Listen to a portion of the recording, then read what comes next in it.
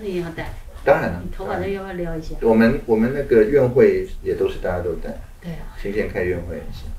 辛苦了。礼拜五的时候，大家在那边扔猪肉的时候，我有看到你坐在旁边，大家都很一片的 note，只有你很专注的在那边。对对对，我在备课，就是当那当天那个北科大中午有一堂课，远距上课，所以在看大家 Slido 的问题。哦，是你就是兼课是兼课吗？还是不是，就是邀请一场演哦讲，常常会有老师他有一堂课，在那堂课里面他会邀很多人来演讲，这样子。然后我要承认我的错误，嗯我每次来都会跟你分享一件啊，事，你说是对不对？张飞吗？嗯，对，你怎么知道 然后我后来还回去嗯特别查，然后他说关公如果睁眼的话就是见血了，对了，对是。好可怕啊好！这也是我的错。好，那我赶快，我赶快，我赶快进进入情况好了。你嗯现在可以切换的过来哈。请好，OK，好。呃，我我我今天的话，我会从那个就是呃，就是因为我们大概把我们上次呃的访谈哦，就是大家都整理了出来这样子，因为我们还是希望说跟你们互动为主，因为我觉得这也是其实也是你的思考脉络，就是呃对话嘛，讨论，然后在这上面奠基这样。然后里面的话，我今天大概会进行就是进一步的追问之后，然后再开展我还有一些主要的主题这样子。哦，我带着，不好意思，OK 啊对，然后第一个就是说，因为我们之前就是呃呃，就是我在整理的的过程当中，其实你有提到一可能就比较短一点，不是一个问题，它它是一个就事宜这样，就是我不太理解的部分这样，就是想跟您请教一下，就是说我们之前谈了很多对话，还有共感共情的部分有没有？那请问一下，就是就请问一下，就是说你有提到，就是说。就是对您来讲，就是呃，从呃，就是您在大量的呃阅读之后，呃，不是应呃应按照你的诠释，不是跟大量阅读没有关系，就是在呃完整的把文字扫描到你的脑内之后，经过睡睡眠之后，把短肌变长肌，然后形成了那个所谓的你的结构，有没有？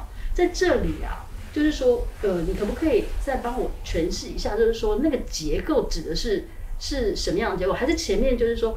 它是前面就是说，呃，因为我知道你醒来之后有没有，你会抓重点，有一些关键字，嗯是有关键字在形成结构，是这样吗？嗯因为这个会会牵涉到，就是说，就是我想跟您请教的，您您的思考脉络，因为我有看到您在在其他的地方，您也有提到，就是说，就是思考 A C A C E 原则跟那个呃，就是那个你小时候。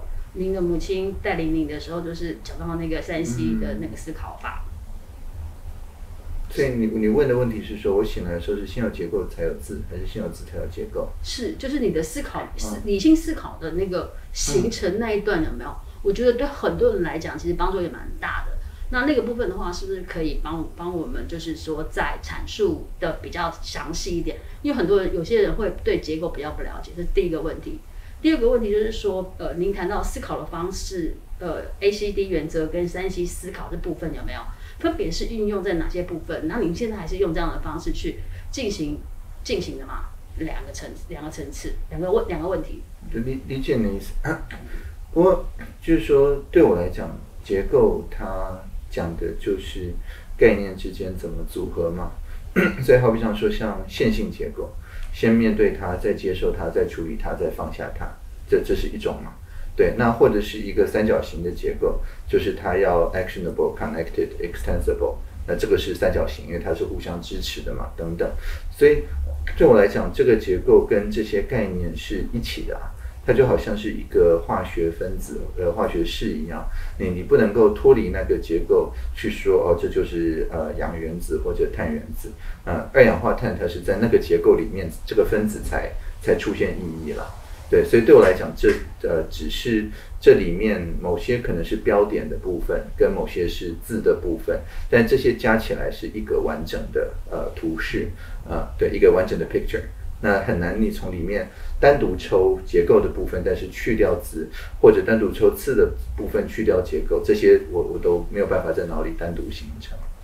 理解，那所以如果说我要去理解，比如说我要向向向您学习，就是说向向您学习，就是说你理性思考的那个过程，我应该怎么样，可以怎么样去诠释它呢？去还原它呢？因为感性的共情部分的话，有没有？我我可以，我已经可以去用文字去去去跟跟您沟通，就就去了去理解您。可是可是在理性这个部分的话，就是说，呃，你在思考的过程中有没有一些，比如说我刚刚提到的，就是很多的方法，如果因为那很多方法都是别人定义出来的。因为我我我在讲的概念是说，我睡眠的时候怎么样去进行消化整理，并不是在我有意识的情况下发生。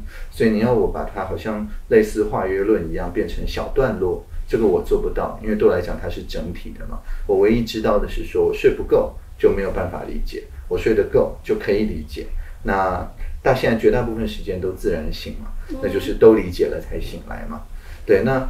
但是你说，在这个过程里面有没有一些，呃，我可以说，那我今天先做这一半，明天再做那一半的那样子一种好像小的步骤，那我我真的不知道，不是故意不跟你讲，是我真的不知道。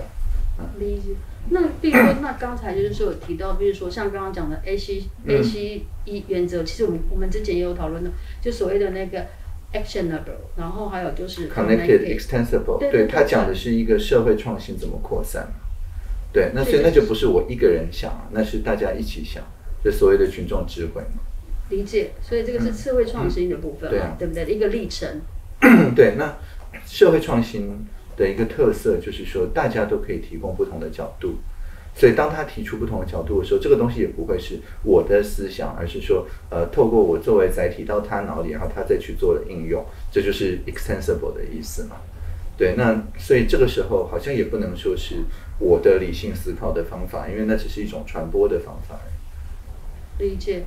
那至于那个，那像呃，就是里面还有提到，就是还有你过去也有提到，就是说，就是那个三西思考，就是 critical 跟那个 care，还有那个 reactive，对啊，那个部分呢？那个也是在跟一个对方互动的时候的态度嘛。就是态，嗯，理解。对啊，但是他也不是说好像一个人。解那个不知道哎，呃，数独还是什么东西的时候的步骤嘛，不不是那种类似步骤的东西。那比如说像像您从就是说就是从小到现在到大到三十九岁有没有？那您有没有就是因为你你其实后来我就不断的再去看您过去的一些资料的时候，其实那你你有没有就是我知道你现在很忙，但是你在过去的时候，你有没有就是说去把你自己去归纳出就是说呃。比如说像什么原则啊，或什么的，或是态度和感受，有有就有，没有就没有，就这样。嗯，可是你说我自己的意思是说，好像是说你只要照着这样子做，就可以进入我的思考方式里吗？像像面对他接受他处理他放下他这种东西吗？啊，如果是这样子的话，有啊，我我之前有写过一整篇嘛，叫做乐趣最优嘛，Optimize for Fun。对，那那里面就提了很多态度。哦，乐趣。对。也是找得到的吗？对对，最近那个近藤弥生子才把整篇都翻成日文。好。嗯，所以其实在日本也已经要出了 NHK 吧。嗯。没关系，那个，这你讲到日本我都好好好。我我只是 如实的跟你说，呃，因为之前近藤也问了同一个问题，然后他就直接拿去翻译了。乐趣追有。嗯。这个非常的。然后另外再来就是，等一下还有一个部分要也是要就是在，因为我要确认之后，尽尽管你之后会再看，但是我还是要确认之后，因为我不希望你看到的东西是一个那个。另外一个部分的话，就是说你刚刚讲到就是说你要睡足有没有？但是就我上次跟您对话的过程当中，我的理解是说，就是说那个八个小时，其实有时候因为您刚刚有讲不然不自然醒，嗯，那那其实那八小时不完全是。都是在睡觉的状态，对不对？就可能前面半小时是就是昏昏欲睡的状态。但是那一段其实是属于睡眠跟自己相处，就是你至少那半小时是属于你自己单独的时间。对，它就是就是睡眠的一部分。嗯。那有的时候五分钟就睡着，有时候要十五分钟才睡着，但当然都算在八小时里，确实。但是呃，它的截止点当然就是醒来的那一刻。但是那八小时至少是你自己的时间，然后你剩下的十六个小时其实都是现在目前都是投身在公共公共事务跟公共利益上。可以这样说，嗯没错嘛，哈，这我诠释的至少没有错嘛，理解的没有错。然后另外第二第二个部分就是说，你其实你其实你其实有提到就是那个这是什么那个英文就是自洽的部分，嗯，就是 self consistent，嗯，那个自我一致性的部分有没有？那那个部分的话，其实是不是我也可以把它那个部分的话，就是说，就是呃，我我把原您的原就是原句跟呃，就是我不理解的部，我我比较就是这个部分的话，因为它这个名词其实比较少人谈到，它都是大部分是英文。嗯然后这个部分的话，就是说，如果说你呃，其实因为我们我们有了互动，所以我能够理解你讲的那个自我一致性。不，这个在哲学里是很常用的，是。欧欧陆跟英美哲学都有用这个概念，是，但是一般人其实不看哲学的，理解？这也就是为什么我的工作很难找的原因。理解理解，嗯。然后对，但是那你可不可以帮我举一个例子，就是说，嗯。因为其实很好，你很好举啦，嗯。就是说你的行为一致性从小到大，嗯。那那你可不可以帮我举一个例子就可以了？嗯。因为对很多人来讲的话，可能他记得这个名词，他只是记得这个名词，就如同就是说，我也不好，我不要我节省时间，就是嗯。我呃，就是你可不可以帮我举一个例子，自洽这个事情，就嗯。自我一致性这部分。嗯，因为其实我为了你，我把我那个大部头的那个哲学史全部又拿出来看。是这样，嗯，因为因为我现在不确定我的目标读者是谁啊，对不对那？等一下我跟你说，嗯，OK，因为因为因为我要举例，总要跟他比较亲切的例子嘛，对啊，那一般会说，好比像说，呃，从罗素悖论来讲的话，如果说呃，现在村庄里面有一个理发师，他说这个在全村的人，呃，只要不不替自己理发的，没有办法自己理发的，我我就会帮他理发，呃，这种讲法。那这种讲法当然就是，那他会不会帮自己理头发？但它就会进入罗素悖论里面嘛。那这个就是呃出现一个自我不一致的状况，就是他这样子的断言或这样子的陈述，在某一个情况下，它会产生矛盾，这样子。那这是最最最基础的逻辑的讲不一致的做法。那发生在您身上嗯呢？可如果您自己本身帮我举一个小的例子就可以了。不，但是我我们刚才讲的语境跟那个脉络，是，就是在说我尽可能的不要发生这样子的事情。就是我我发展我的思考的时候，尽可能是在自我一致的情况下去发展的。那如果呃就是发生到一些情况，那这些情况呃不符合我本来的想法，那与其把我本来想法硬套在新的事物或新的人身上，我宁可去修改我的想法，让它更切合于事实或者更自我一致。所以你现在要我举一个说呃我这个没有自我一致的例子，我我我反而举不出来。理解。嗯。那我可不呃，就如同就是说，像比如说上次我们就是有见面第三场、第四、嗯。呃第三呃不好，怀了，就是就是那时候您呃礼拜天那一天，嗯。我们礼拜一见面二十三号，然后您参加那个呃、嗯。那个那个那个论坛的时候，嗯。我忘记了那个论坛的时候，然后因为不可能不能公不能公开的，可是您有您自己的理念，嗯。然后所以后来你就是跟他们商量之后，嗯。然后结果就是您的那个部分就只拍了我这一侧嘛，对。是，嗯所以那个算是也是一个例子嘛，就是那个那个算是自我一致的例子啊，是就是说我事前说会怎样，最后也做到了。他们事前说会怎样，诶，透过一种创新的方法，他们也不算没有做到，所以双方都维持了自己的一致性。所以这个是算是有维持的例子，而不是没有维持的例子啊。有维持的例子可以举啊，但是没有维持的例子我想不到。那可能您误解我的话了。嗯我刚刚讲的是说有维持的例子，啊，OK，可能是我表达没有很清楚，了解。因为我今天从嗯，我现在马上，我现在脸是嗯那个、对，就就是了解了解。我我，对对对，就是嗯我是说一致性的例 OK 子。OK，对，那那你你就你用那个就是策略论坛当例子，我觉得很好。那那是这是我讲的啊，那您可不可以？嗯呃，没关系，因为今天问题实在很多，我们节省一下时间好了。我还是我还是希望您帮我分享。嗯另外就是说，在过程当中有没有，就是我我呃，我们多次的谈论里面呢、您有你一直有用一句话，就是说，不管我怎么样请教你有没有，嗯。就说你一直有用一句话，就是说，呃，用欣赏的态度在意，因为因为其实您也承认，就是说，其实您并不是就是呃，就是很多事情其实你都是都是不在意的这样子，但是这个部分的话，就是说，呃，除了客委会跟其那个例子唐唐凤过台湾之外的那个例子之外，甚至就是那个我有看到，就是说那个 Open Book 它其实也拿、拿你来当广告，有没有？对啊，对啊，还还贴好可爱在公车外面，对啊。那您同意吗？那个没有，我就抛弃掉著作财产权，他不用问过我啊。哦，你连你的肖像都对啊，对啊，抛弃掉对啊，是啊，是啊。那你如果去我的 Flickr 看，他们的摄影师也抛弃掉著作财产权了，所以任何人都可以去做任何运动。理解。那所以好，那这个部分我本来是希望说您有没有要，就是不是有，就是我希望您进一步的诠释跟举例啦。嗯。可例子其实蛮多的啦。对啊，其实每一个 Flickr 上面的每一个相簿没错，他都有去讲到说是哪一位摄影师或哪一个团体呃来拍照。那他们的分享的方式是只要剧名就随便怎么用呢？还是不能商业使用呢？还是不能改作呢？还是什么之类？有一些条款嘛。那这些条款是他们在意的事情嘛？但是我并没有在意的事情，所以就是以他们的那个条款为条款来公开这样。理解。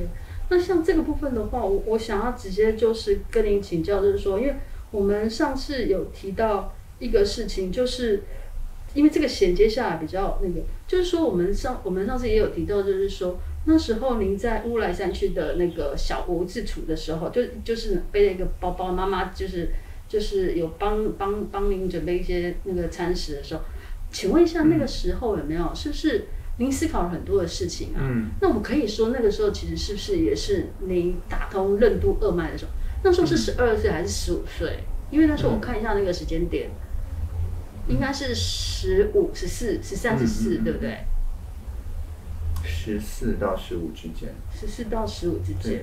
那我可以说那时候是因为我我我看书里上是这样诠释，但是事实上真的是这样吗？因为我想跟您书里求证。有找到任督二脉，任督二没有，但是他提，因为他提到很多，就是说你在那时候全部释怀了，然后就是包括就是您对对，就是心情变得比较好，确实了。但是任督二脉，我我不记得有这样的用法，对。没有任督二脉是我诠释的。，OK，好，嗯可是我想问的是说，那个时候是变得比较舒服，那个有几个层次哦，因为里面有提到的层次是说，第一个当然就是说，就是就是那个呃日语，就是它其实跟就是嗯跟哲学很像。前面的就是从自然存在一直到所谓的那种就是人的存在的部分的过渡有没有？嗯然后我讲的好像跟神一样，就是说就是跟宇宙万物融为一体。克里希那穆提在隔壁棚啊，不是这个棚。对 然后我我我我我觉得，我都只是想跟你请教，就是说，我想要理解那个部分的话是。是真的是这个这个情形吗？因为我我这个部分就是，我就说前面这个部分就是大就是都是求证啊，嗯，后面对还客观可以检验的，就是说，确实，呃，在去闭关之前，对于所谓的学历啊、什么成就啊、什么之类之类，在脑里还是会有不同的呃声音嘛，不同的意见嘛。那当然，几乎所有的亲人朋友也都有不同的想法嘛。那但是呃，等于从闭关结束之后，那个想法就是我的，你要说主见也可以，呃，就变得比较一致。那也比较不会说，好像是自己在心里面天人交战这样子，等于是说跟自己达成了和平，可以这样讲吗？和平还是和解？和平吧，嗯，和平哦这，样，嗯，那包括了就是说就是呃，还有一些你个人比个人的事事情，那个也算是嘛，因为因为、嗯。因为它有几我看那有几个时间点嘛，一个就是在你您十四十五岁的时候，对啊然后等到二零零五年的时候，那个其实因为我不会写这一块啦，我只是想要厘清它而已，因为那个也没什么。然后二零五年的时候，那个是有一个实际的需要嘛，就是欧洲的一些朋友、美洲的一些朋友、亚洲的一些朋友在线上，呃，看到我的不管是呃性别的人称啊，或者是甚至名字啊都不一样嘛。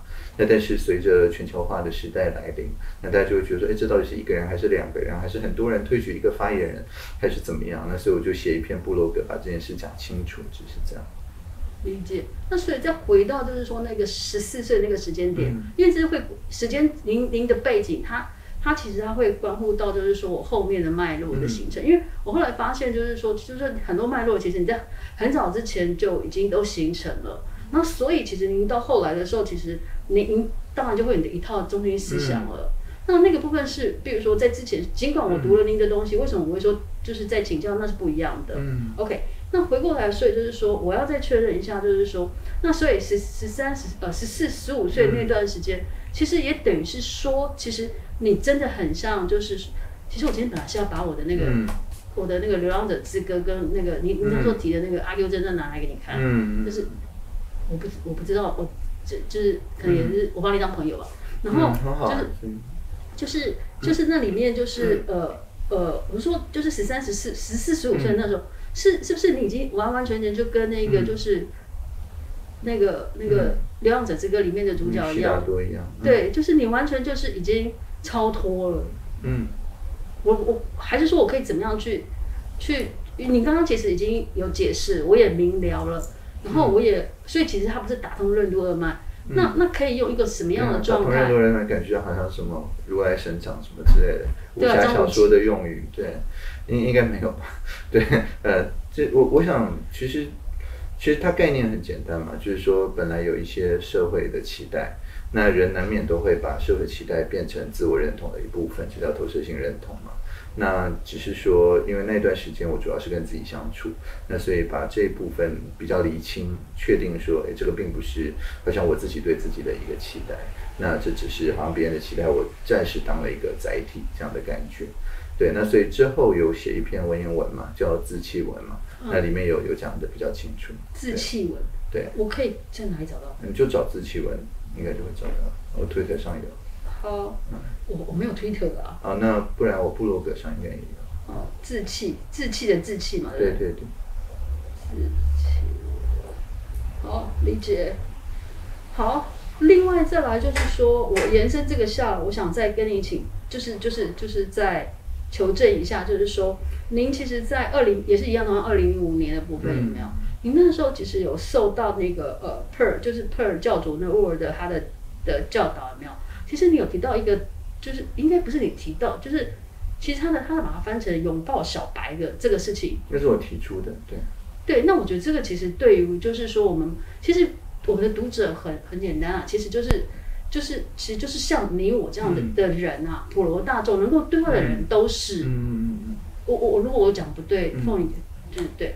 然后那个可是我相信每个人其实常就是在不管哪一个阶段，他有可能都是小白。嗯然后就是呃，那怎我我可以怎么样去接纳技术不成熟或发言白目的、的的的人，或我不要成为那样的人呢？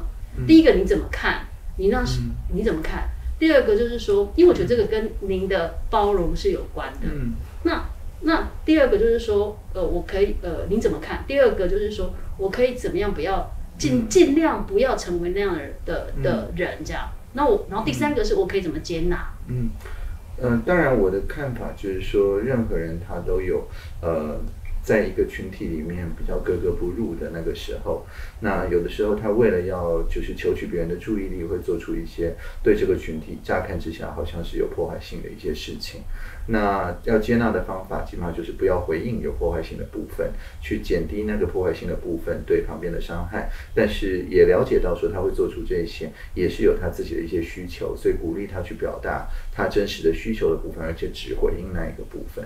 那这个是应该是之前有很多材料里都有。有这个这个这个我了解。那我可以怎么样不让尽尽量不让自己变成一个就是说，嗯就是不成熟或或发言白目的，因为、嗯因为毕竟没有一个，因为我刚刚为什么一直问嗯十四十五岁？因为毕竟不是每一个人都是在嗯都是这么的，就是在那个阶在很早期那个阶段就就能够达到一个自自自自自我了解、认识我的一个境界。对，所以意思是说，呃，我应该要提出一些建议，说你越早去倾听别人，那你也越容易就是有一个比较你的环境也好、脉络也好，不会觉得你是来乱的的这样一种沟通模式嘛。嗯，是是像这种建议嘛？那那当然可以这样建议了，就是尽早开始积极的去聆听旁边的人，这样。哎，那这个就有趣了哦。就是聆听的部分，其实您也讲，也跟我们分享了，讲了蛮多的。然后，呃，但是在前面就是说，呃，像，呃，大家也知道，现在有很多小孩子有 PST、TD 症、症候群过动症什，么东西？就是过动症啊，就是他那是 ADHD。还是我记错了？嗯 PST 好，就是过就是比较难以专注的、的的状态。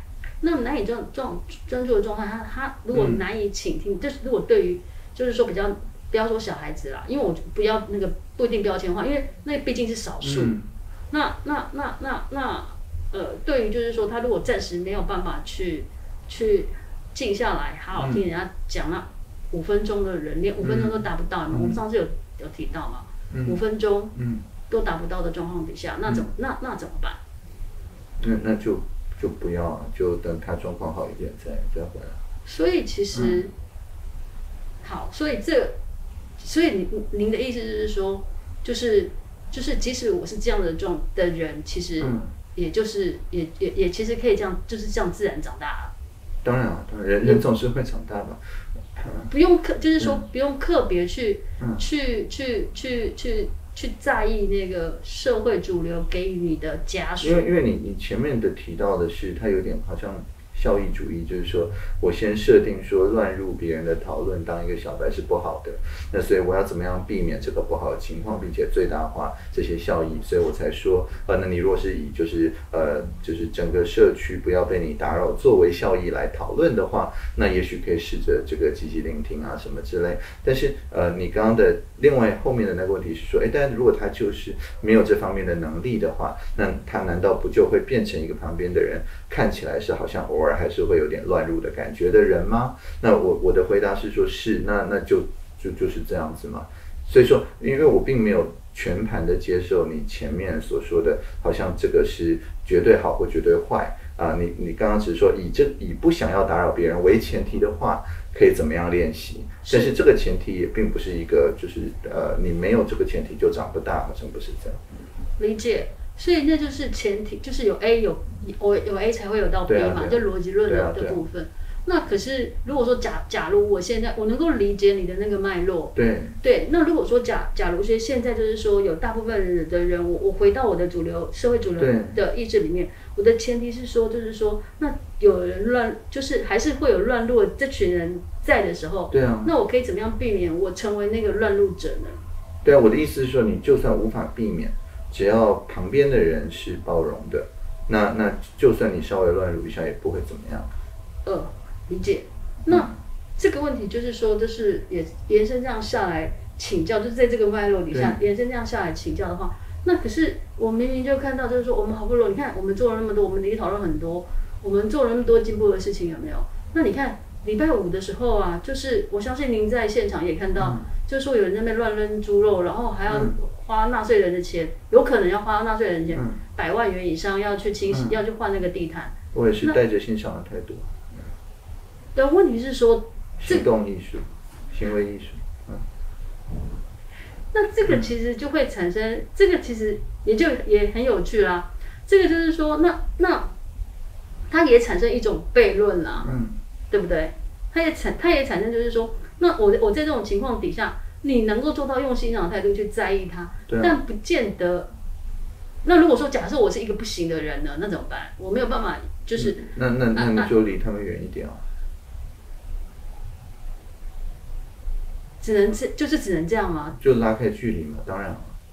那我可是，如果当当当当这样的拉开距离，当这样的状况底下，那如果说假设站在另外一个第三方的角色或第四方的角色，我我我我我呃，你那个拉开包不包不包含所谓的所谓的，就是我们刚刚有讨论到，就是说批判式的思考，至少可我我没有听懂你的意思，因为你刚刚在讲的是说，首先我要怎么样成为一个不要在异场扔主场的人。好，这个我们刚刚讨论过了。对那另外一部分是说，那你如果旁边异场有人在扔主场，那你可以采取怎么样的态度？这个我们讨论过了。对你现在已经退到说，那你没有办法保持着一种欣赏的角度，而且呃，事实上就是很不舒服。那我说，啊那保持距离嘛。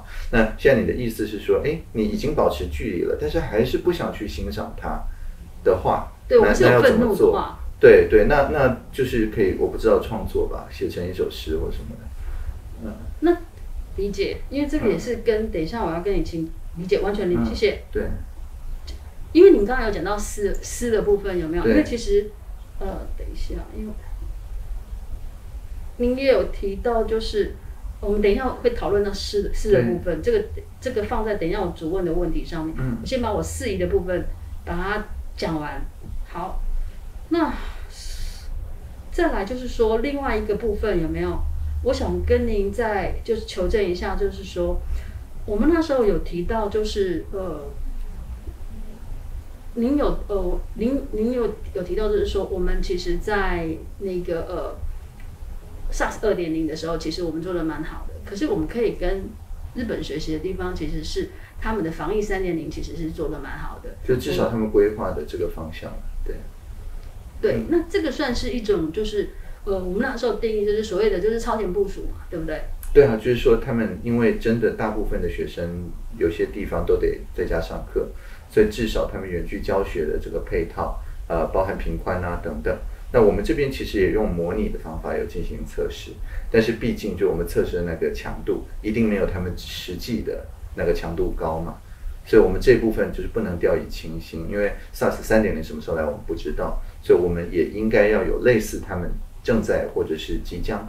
做的那种超前部署，去确保说，诶，如果真的有一天 SARS 三点零来了，搞得大家都必须要在家才能够上课，那这样我们怎么样不要落下呃比较偏向或者是教育资源比较不足的朋友？理解，其实最近也大家有一种感觉哦，其实也才三天，可是好像大家已经有感受到那个强度，就是说怎么突然变严了，怎么连就是总统都出来讲说，就是说我们应该要要要要怎么去下班什么的。对，嗯，对啊，感觉上好像比那个就是三四月的时候还要来的紧紧绷一点。可是我觉得那个心好像还没吊起来，但是有感觉到那个政府比较更积极的在在在在在提醒的那个意味在。确实啊，确实就是秋冬嘛，哎，确实是这样。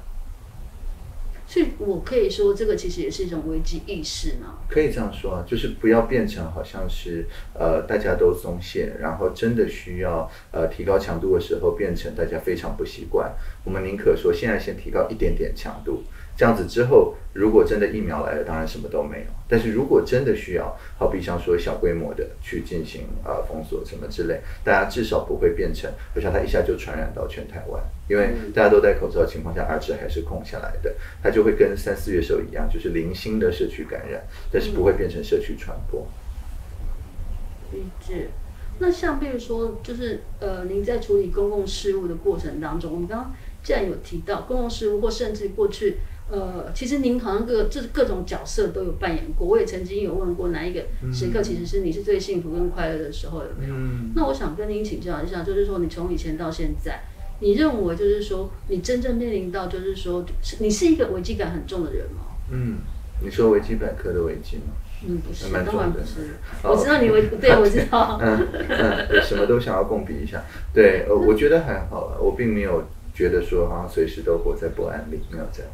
危机跟破案不一定一样哎，因为危机危机意识到危机，其实有时候是就是说，你就希望把事情做得更好嘛。然后可是不安，其实有时候是来自于一种恐惧哎。其实两者，我认为它不一定是画上等号哎。所以对您来讲，就是说，这是两个都画上等号是吗？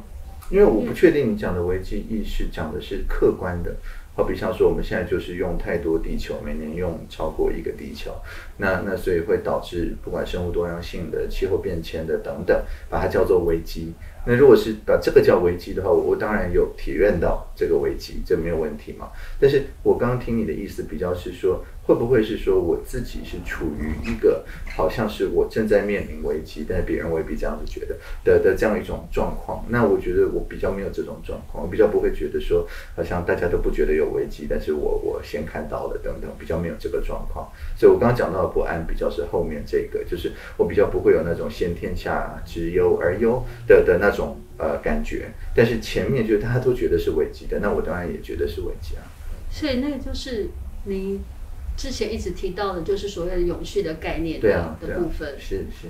那后面那个部分的话，就是先天下之忧而忧那个，嗯，那那个部分的话，就是说，可是感觉上您好像好像是比较是，嗯，我我不知道哎，就是您，我我感觉跟跟就是我的感觉好像您您您会是那样的人哎，嗯，可事实上其实您不是。我比较没这种感觉。那是因为心平心。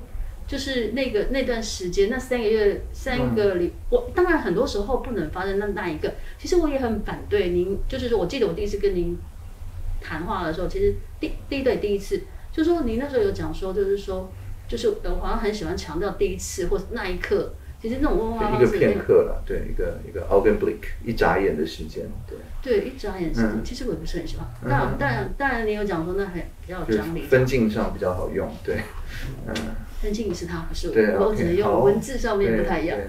嗯，那可是我想，我我我我我我我想请教的就是说，就是说，所以是不是就是就是我再确认一次，就是说，是不是那三个礼拜的闭关时间，是不是就是就是等于是说，其实是一个完成自就是自我完成认识你自己的那个，就底定了你这个人的样貌，呃，那个样貌不一定是具体的，你的中心思想其实已经行够了，然后后面当然就是很多东西添加进来。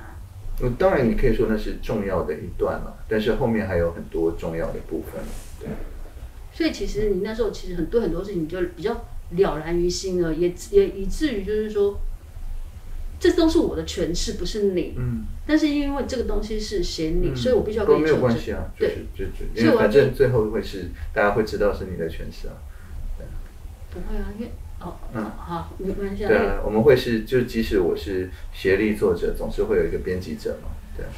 啊，我小时候看到很多都是谁谁谁编译这样，不过作者名字都没有写。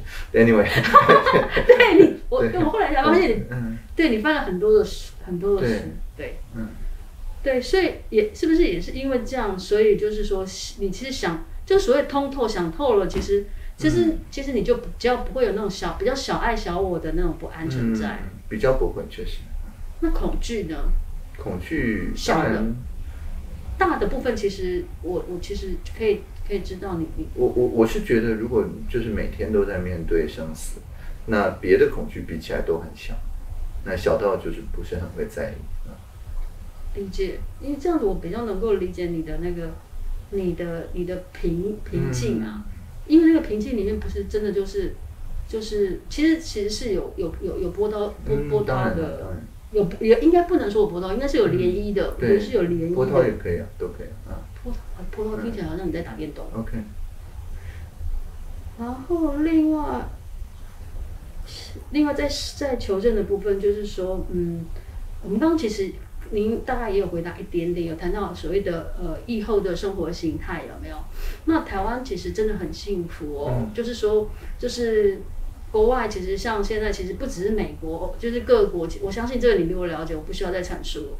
那我我我们，可是我们好像真的就是比较比较比较好好一点这样。那但是就是广达的林百里先生，他其实有讲说，就是宅生活其实回不去了这样子，就等于生活形态的改变这样子。嗯。那关于这个部分，可以跟我们分享一下，就是说，嗯。那呃，除了就是说我们在比如说远距的平宽啊，还有就是我们载具上面的不足之外，有没有？那您对于它这个部分，因为我我记得没有错的话，就是说您从那个就是呃二零零八年金融海啸，因为这就是二零零八年金融海啸之后，那时候其实你很想退休，的工作，对，是，嘿，嗯。您其实是很早就远距工作的对。人，那你怎么去看？就是说他这样的讲法，因为很其实其实就我自己所接触的啦，就是就是我很我我已经很习惯，但是很就像我们之前有讨论到，台湾很多的中小企业，嗯。其实老板看不到你啊，其实他就很害怕。那所以就是说，呃，在制造出口或是呃很多时候就是那些呃宅呃跟宅经济有相关的企业，它可能就是真的有商机。可是宅生活这个部分，台湾好像还没有那么的，我我讲不是宅男或宅在家里生活的人，你说想到一个人的时候就用 Line 开视讯，还没有变成一个习惯，这样吗？好像是哎、嗯那您您您的观察呢？就您的观察是不是如同我这样？我自己感觉上是这样啊。我是觉得，当然在疫情险峻的那两个多月，大家不得不进行调整。但是确实因为只有两个多月，所以新的习惯有时候还没有形成，然后又感觉哎，那好像还好，又可以又可以来办公室了，或者又可以来工厂，就确实是如此。对，那如果说我们还没有，就是说，就是就是那个意意意，就是我们一直就是我们一直有在讲述所谓的要改变那个 mindset 有没有？那那你觉得就是说是呃，每次都叫你建议，这样也很奇怪，好像仿佛又我又把你变成一个圣人一样。而且还有就是说，为什么要改变这个模式呢？如果现在是说真的，因为疫情，大家必须要关在家里，那你是有改变的必要性。又或者说，如果你的合作的伙伴，因为他们现在都关在家里，而且没办法来台湾，因为他们在国外，那这样子你必须要学会线上跟他们沟通，这个也有道理。而且事实上，很多中小企业已经这样子做。对，那但是如果你的供应链或者是你的亲朋好友，实物上都在台湾，而且也都可以面对面，那你回到面对面当然是比较好啊，没有没有什么道理说好像你非得呃关在家里不可吧？理理解理解。可是你那你可以跟我们分理理完全赞同。那你可以跟我们分享一下，比如说你从二零零八年到现在，除了就是说就是。因为公公务的关系，而且再来就是，我也不知道哪里又传出来，就是说你有可能是社会发展部的部长这样的候选人。配啊，报配。好，对，那那那除了就是你一定要无时无刻的现身之外，有没有？那可以分享一下，比如说，呃，你自己远距工作的，你很喜欢，因为因为你有讲过嘛，你可以一天都不讲话嘛，所以这种方式对你来讲是不是其实还蛮自在？当然，远远距工作对我来讲，呃，它不是只是好像说见不了面的替代品。远距工作本身有它的好处。那两个主要的嘛，一个是说它可以发生及典藏，就是说我们现在讲话，我们如果不特别放一个录音机或者是录影机，我们是不会留下讲话的记录。但是我如果跟你视讯，那我同时要录影，这个只是按一个键的事情。所以发生沟通的时候，同时把它典藏起来，这个在远距的时候是呃预设会发生，但是在近端你得特别价格录影机才会发生。那这个对于在组织里面后面没有参加这个会议或没有经过这个讨论的人来讲，你如果有典藏起来的话，你可以大幅省去它呃就是重新呃理解这个脉络的成本嘛。因为它可以把我们的对话就是重新翻过一次等等，所以这个是第一个好处，就是它会自动典藏。那第二个好处就是说，我们在这个就是远距工作的过程里面，我们所产出的这些东西，它会变成必须要自我描述，因为你在看的时候可能是非同步的，我已经不在了，不会像呃面对面的时候，好像我想到一句就可以讲一句，你想到一句又可以讲一句，因为我们是在非同步的情况下做大部分的工作，所以我们做出来的文件也好，或者是产品也好，或作品也好，大概都得做到一个段落，然后再按送出嘛，然后才才放上去。所以呃，第一个在讲的比较是同步的情况下，但是可以录下来。呃，第二个讲的是包含前面的非同步部分，跟呃主要是用作品来互动的非同步部分，那可以养成一个就是每个人的工作更加自我描述的这样子一个情况。那这些大概之前在好像数位时代吧，有一次访问里面大家都讲过。哇塞，我没那么厉害，从数位时代的访问，我就还要全部帮你，就是没有关系，我可以给超妍姐，对，嗯理解了了解。那你因为我有留意到，因为我知道你有帮那个呃郑插插袋郑嗯。依婷郑婷郑依婷的嗯。远呃远距工作这样做嗯那本书做做推荐，嗯，应该也也就是那对啊，对啊，它里面有提到很多类似的概念，对。但是我我我我我我比较想要知道嗯。你你你您自己呢？除了刚刚那个两两个好处之外，再就是说，是不是就是说，如果说今天假设假设如果说您今天不要就是呃退休，不一定想退休了，就是投入投入投入公务公共公共事务的话，您会是一个就是常常常没事跑就是拍拍照的人吗？不过我想这是两回事啊，拍拍照，啊，但是可以同时远距工作。嗯，只要我拍拍照那个地方有四 G 或五 G 或光纤或 WiFi，那那这是物理空间的拍拍照跟呃在线上空间继续保持远距工作是同时并行不悖的。那就是所谓的三个你嘛。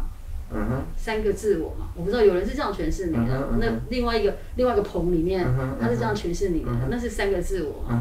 是这样吗？不过对我来讲，就是现在大概都是连续的吧，因为自从有了四 G，那当然现在五 G 之后，我现在看到什么，如果想要分享给其他人，那我就用一个三六零，或甚至就用我的手机稍微直播一下，大家也就知道我所在的地方的样子。所以以前是因为频宽不足，所以你只能用抽象的方式来描述你所在的周边。但现在因为频宽已经足够了，所以你透过别人的手机或别人的眼睛去看到他所在的那个实体环境，其实是非常容易的事情，开个视讯就可以了。所以我就应该比较没有那种好像反差很大的情况。只剩下反蒙差哈，呃，反差萌，反差萌哦，想跟你开个玩笑，一直对。对对对，然后结果又又开错了，嗯这个就是这个就是小白。好，另外再来就是你还有吗？没有，好，嗯。另外再来就是那个呃呃，一样是求证哦。如果进入到那个，我会再跟你讲，一样是求证，就是说，我想跟您请教一下，就是那个，因为我们在之前谈了蛮多永续发展的部分，然后甚至谈到就是说，你有你的口诀这样子有没有？然后，但是我我不巧刚好之前有看到那个，就是黄振中老师，他其实也是就是、呃那个永续发展协会。对嗯，然后他其实他也有写一篇专栏，他有提到就是说，如果经济就是都维持不下去的时候，有没有？那怎怎么样？就是说，我们还要台台，湾现在台股一万四，已经济维持不下去了，这样。我知道了，而且还要对一万这，是一个假设情境。他们他们，哎，可是可是那个只那个只是股市看起来很火热啊，还是有些人其实这撑不下去，因为我真的也有对，当然是在讲就是所得不均什么，这个确实是有。但是你说这个社会没有一些多余的力气来做永续发展，这个可能讲不出来。对他的结论是这样子下，然后那我就会想说，我那时候看到的时候，我就会想要跟你请教的是说，因为我们在之前其实就是谈了很多这个部分，有没有？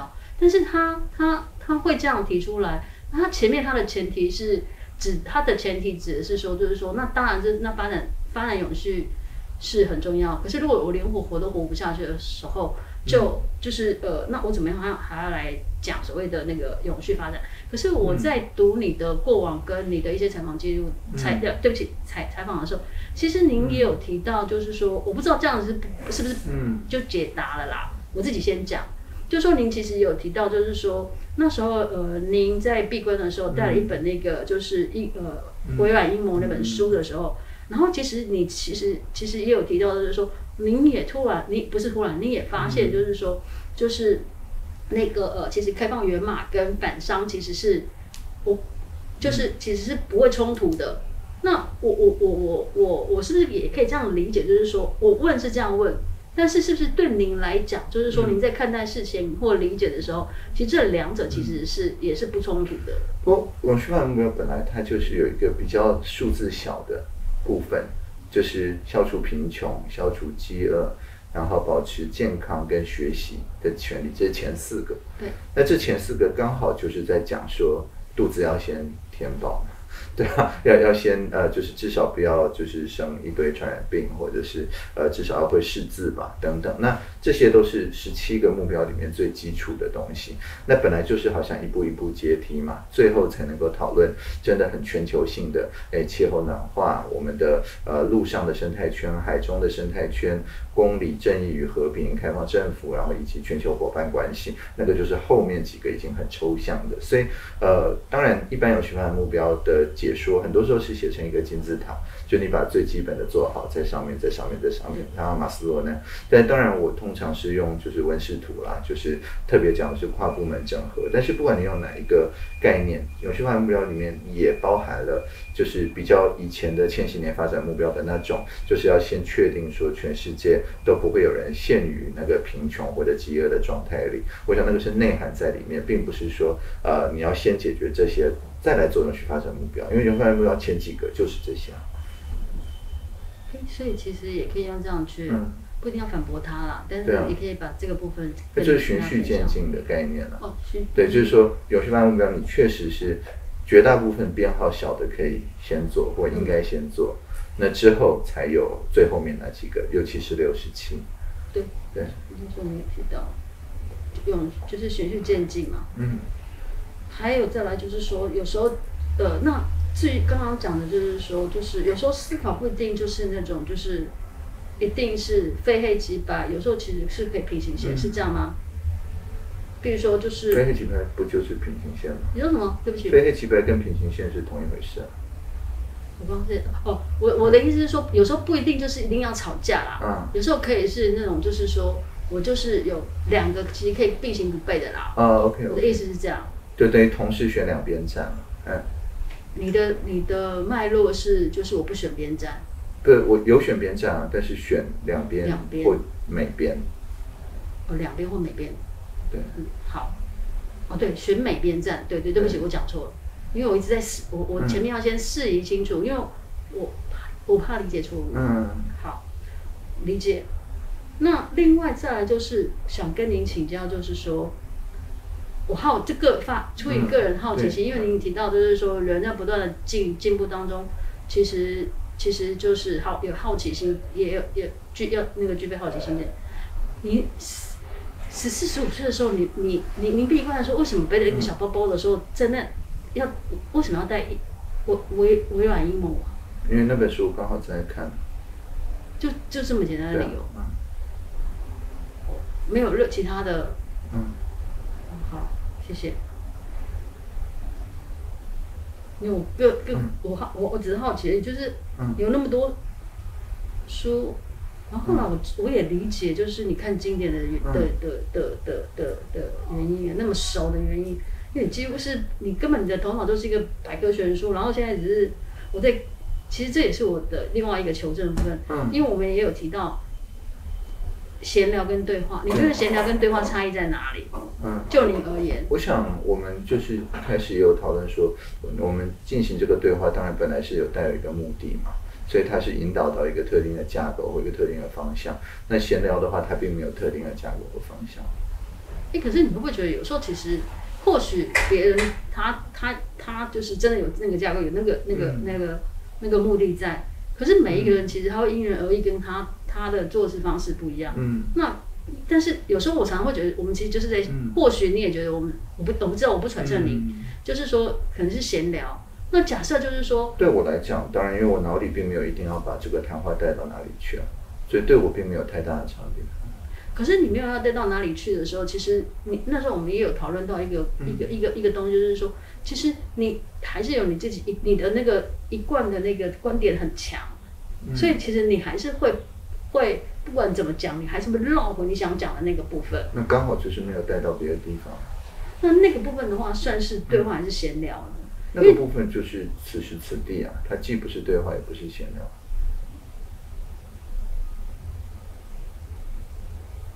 那就当课了。对啊，因为我是把，因为我为什么会这样请教是说，因为我是把对话想成是，就是我觉得对话的的后面其实是共情，对，对，但是闲聊闲聊其实也有闲聊另外的那个创意它也是，共情啊，对啊，也有共情的成分。对，是那那所以就是说，对你而言，就是说你在定义它的时候，就是说一个是有目的性的，一个是没有目的性的。就一个有架构嘛，有 structure，那一个没有。对，嗯那除了这个之呃，那好还有当下，嗯那除了这，那你多半时间大部分都是在对话还是在闲聊啊？对我来讲没有太大的差别。对，可能对对方来讲有，因为对方是呃，就是呃，要要这个观其妙，还是是 还是不是脑里是常有还是常无，可可能会不一样。但是对我来讲，其实并没有太大的差别。对，什么？呃，那你这样算？嗯呃，因为我我记得我高中的理化的那个理化系，我我现在都跟你讲啊，嗯。就是因为你的对我高中的那个理化老师，他跟我说，他说就是千万不要把那个就是特例当例子，有没有对？那您的这样的讲法，嗯。因为我觉得这个其实其实跟很多我在询问你的问题其实是一样，就是说对，那是不是就是说那个呃那个呃您发生在您身上这样子才算是特例，一般人其实他很难很难做到您这样的状态。不是多练习就可以了嘛？我们我们不是一直都在讲同一件事嘛？就是说，呃，当然不太可能一蹴而就，说立刻就变成是好像不管对方是带着要特定做什么来，或者只是想要瞎扯自己的这个看法，都不会很容易的被被带走。对，那但是这个是可以透过练习来达到的。那你练习越多，你就越可以这样子嘛。越亲民嘛。对啊，对啊，嗯那像他听那么多次，从从嗯从之前听到这边有没对有听了四本了？他有比较亲民吗？这个要问他，问对问我有什么用？嗯，我等一下会请教他。好，嗯好，所以没有，因为我其实很，因为我觉得，嗯其实，在跟您闲聊的过程，我的，因为其实我我们在在之前，其实你也有讲到闲聊的部分，嗯可是那个其实我觉得那个力那个力量有没有？嗯其实也还蛮大的，跟对话其实是是不太一样的。但是但是除了你刚刚讲的那个定义之后，我不晓得应该可以怎么样去去，那你可以帮我一个忙，嗯就是说，等一下我看一下，好不行，我有点好，举个例子好了，如果不行，我们就那个，嗯。就是帮我举个例子，就是说，呃，你生活当中或你工作上面，工作上面好了啦，生活当中就就是生活当中，你觉得闲聊跟你的对话的情境是怎么样不一样的情境？嗯，我想就是啊如果是闲聊，那就是没有特定的架构或者组织嘛，对。想到什么就就聊什么。对那这样子的情况，你刚刚是说在工作上面基本上是没有的。我工作上可以说是全部都是在有结构，就是这个结构它可能是很宽，就是要留下记录而已，或者是很窄，就是就是要讨论这几件事情。对，但是无论如何，大概都不是闲聊。我上班并不是来闲聊的。嗯，了解。对。上班，大家上班也不会闲聊，但有时候闲聊也会闲聊出一些创意来啊。对啊，对啊，确实啊，确实。嗯，但那个可能就是对我来讲，就是下班时间，就不会是呃上班做的事情，不会是我工作的一部分。那我插一个小题，有没有？对那那您认知的时候，我我认有时候就是那您认知的那个幽默感，你觉得幽默感是什么？幽默感就是能够，这也是一种共情嘛，就是双方对于某件事情，它可以转换一下本来的情绪，到变成比较开心的或比较建设性的、比较比较正面的一些情绪，对，一种转念的共情吧。你最你呃，那幽默感跟开玩笑的差异点又在哪里？我想幽默是一种开玩笑的方式，但是开玩笑也可以有比较不幽默的方式，然后比较挖苦等等，也会被叫做开玩笑。哎，所以像刚刚比如说我们讲到维基百科有没有？对，就是说我说维基有没有？对那那个其实也是您展现的一种微幽默感。算是幽默感，因为毕竟并没有特别去这个挖苦谁嘛。嗯，对，这也是我这几次下来我的感觉。即使不管笑与不笑，我们或是面具底下的你我有没有，我的感觉是这样。所以我就说，哎，嗯虽然我们不彼此不认识，彼此不熟悉，但是我其实是因为刚就是对我会想要把那个书拿来给你看这样子。嗯后来发现就是带来是不是有点矫情？因为或许、或许你根本也不想看。嗯，我我是没有到会背的程度了，所以如果你要往里面特定的章节的话，我当然也可以看。我没有想那个，我只是想跟你分享我那时候有多旧的一本一本那个小书这样子，然后陪伴我。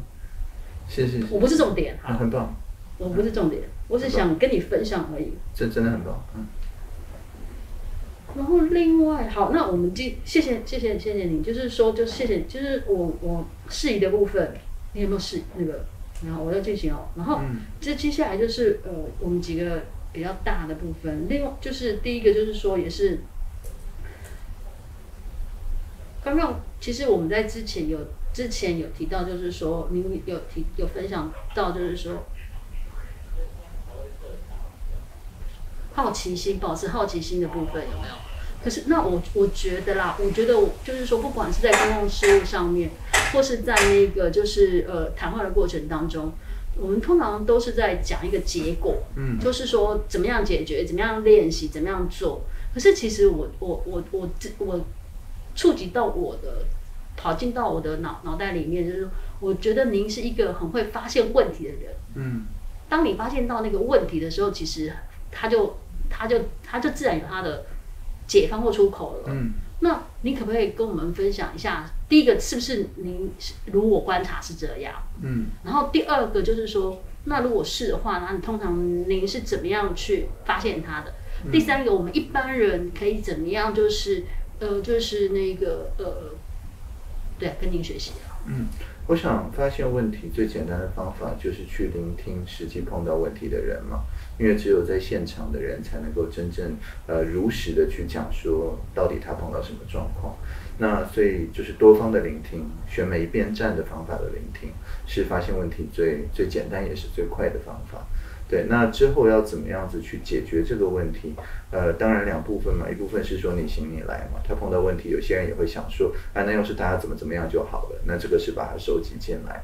那第二部分是说，哎，当你收集了这么多之后，尝试在这些不同的解法里面，先退一步到大家共同的价值。那这个共同价值之后迎刃而解就比较容易。那怎么样练习说，呃，要能够去凝聚到共同的价值？我觉得还是可以试着对每一件事情都去看它的正方跟反方，或者是超过两方啊，啊。如果任何一件事情你有具体的建议出现的时候，可以很习惯性的问说：哎，但是哪些人会觉得这个对他有不利的影响呢？或者是哪些人会觉得这件事情其实并没有他当初的提议那么好呢？那这些又是什么角度来看呢？呃，在脑里随时都可以这样子两三方呃去呃看，那这样就会有一个更整体的感觉。那不知不觉之中，那个共同的价值就会很清楚。所以就是不停的就是。不停的倾听跟跟询问，对不对？嗯。那怎么样去问出一个好问题呢？因为坊间其实有很多的工具书，其实都有告诉你，是啊，怎么样去问有没有？对啊。那如果是您的话，有没有？那您通常都是怎么样去问出一个好问题呢？就是像您刚刚有提到的，就是说，就是站在别人的角度，对啊，利跟不利，其实两方面都都提出来。可能某些方面有利，某方面不利嘛。那这些都是请对方讲啊，不是说我有一个架构，说请对方填一张很复杂的什么试算表，当然不是这样，而是说一个很很开放式的问题，就是你觉得现在情况怎么样？有没有什么想法？这样子，或者是说，哎，你现在看到的这些情况有这些想法了，那你觉得别人呢？你知不知道别人会怎么看这件事情？哪些别人呢？等等，大概就是这样子。理解。可是，比如说像，比如说问的过程当中有没有？其实像小时候您跟您的父亲的对话，甚至就是说我们在之前您分享那本书，哎，对，那可能等一下我要请也要请，就是那个认知的不正义性那个，嗯，好像有翻成中文，但我不知道那是同一本。哦，不是不是，翻成的是经典的那一本啊。那我看的是那个 handbook。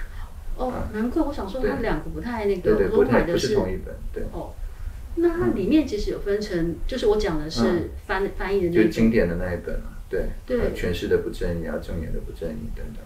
对，那它有分成两个脉，两个讲法，一个就是说，就是我今天在讨论认知的时候，一个是从，呃，很多人就是会因为他的身份地位的不一样，所以诠释会会有误，会有偏差，因人而肺炎，对。对，然后第二个就是诠释性，对啊。那当我面对这样的状况底下的时候，我怎么样问出一个好问题呢？嗯，可是那就不是问啊。你如果理解到你正在碰到这样子的情况，可能重点不是问问题吧，而是真的去呃以对方的处境来生活一阵子。以对方的处境，但但是如果说假设我没有，因为这个部分的话，我呃，你你你呃，您可以壮游或是哎，我这边本来也有写到你壮游那两年，嗯，就是可是。如果说我没有办法像他生，就是呃生，就是以他的方式来生活两年的时候，那怎么办呢？那就缩短啊，两个月或两天所以其实您还是觉得，就是说很多事情其实不是不为最难的，其实还是回到您常讲的，就是说，其实最难的其实还是改自自自己要不要改变。两个小时总有吧？对啊，嗯。可是你相相信一句话，就是说，就是当，比如说你呃，假设我们十年前认识，然后你那时候讲一句话，但你现在讲这句话，跟十年后我在感悟你这句话，其实是不一样的。当然，是，所以就是说，你说那两个小时，那如果那两个小时，其实我我也就是 get 不到，那怎么办？那就是我的参悟喽。就再花两小时。再花两个小时。就看你最后。愿意花多少时间去同理对方的状态。那如果到最后就发现真的不可能那你就也不用再问什么特定的问题了就是你可能现在的状态就是不太适合从这个角度看。那那就了解这件事就是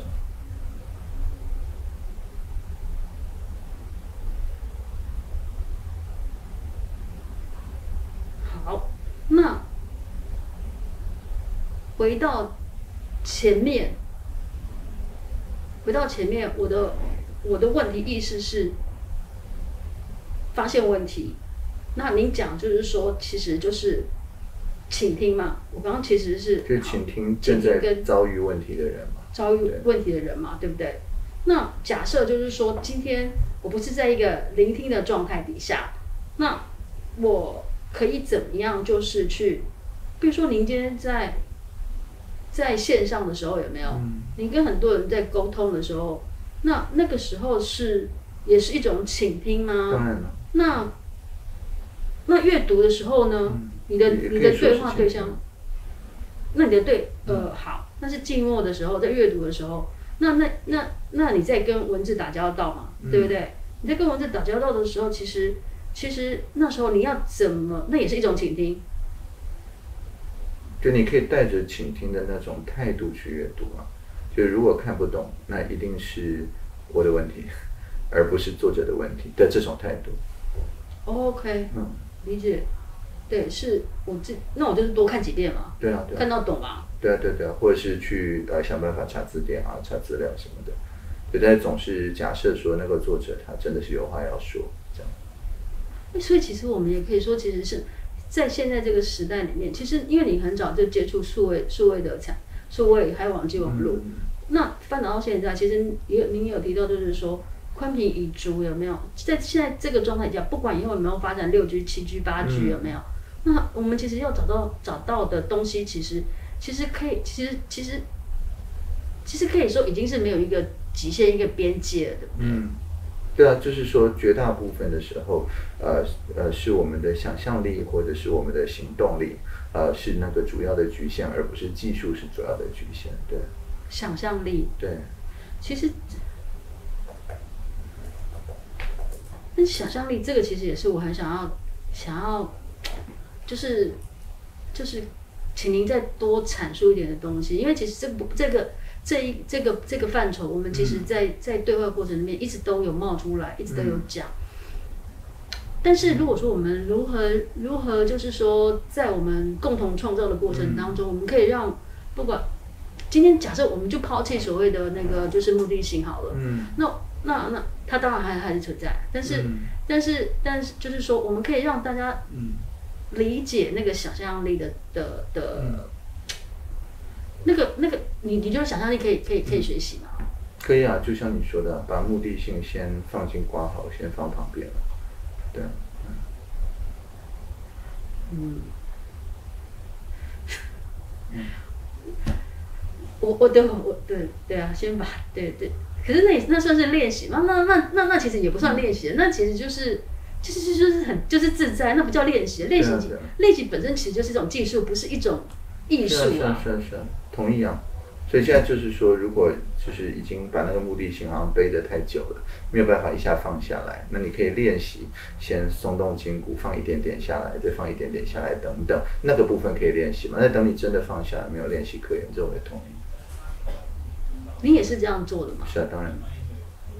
那通常就是说，你你在哪一个时段？不要说哪一哪一点哪一个时段，就是说你在哪一个时候，其实你是真的比较 peaceful。就是，因为我因为我看了，就是说您之后其实也有就是去周周游列国啊，然后您其实就是也有疲倦的时候啊，因为那个其实也是我等一下我要请教。疲倦也是可以 peaceful，对两回事。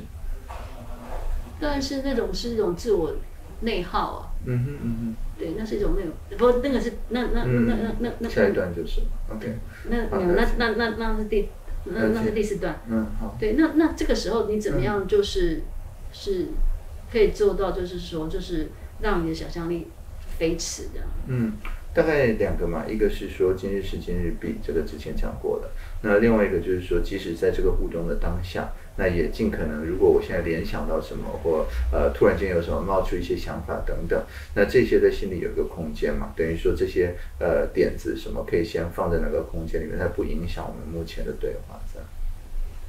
好，那你可不可以帮我举一个例子，就是？我们台日都可以共情的，因为我们之前有提到这两个嘛，一个就是他们防疫嘛，第二个就是地震嘛，对不对？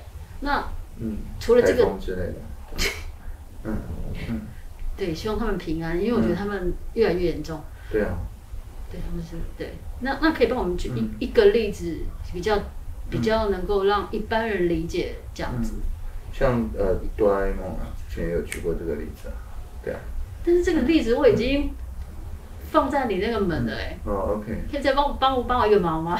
哦，因为我就把对，到时候你看就知道了。那是这样子吗？哦，OK，觉得那个是等于一个抽屉的，是因为它时光机什么的，对，因为他一直在我我要我要幽默感一点，他一直在那个、那个，我就把那个对嗯全是到那边了。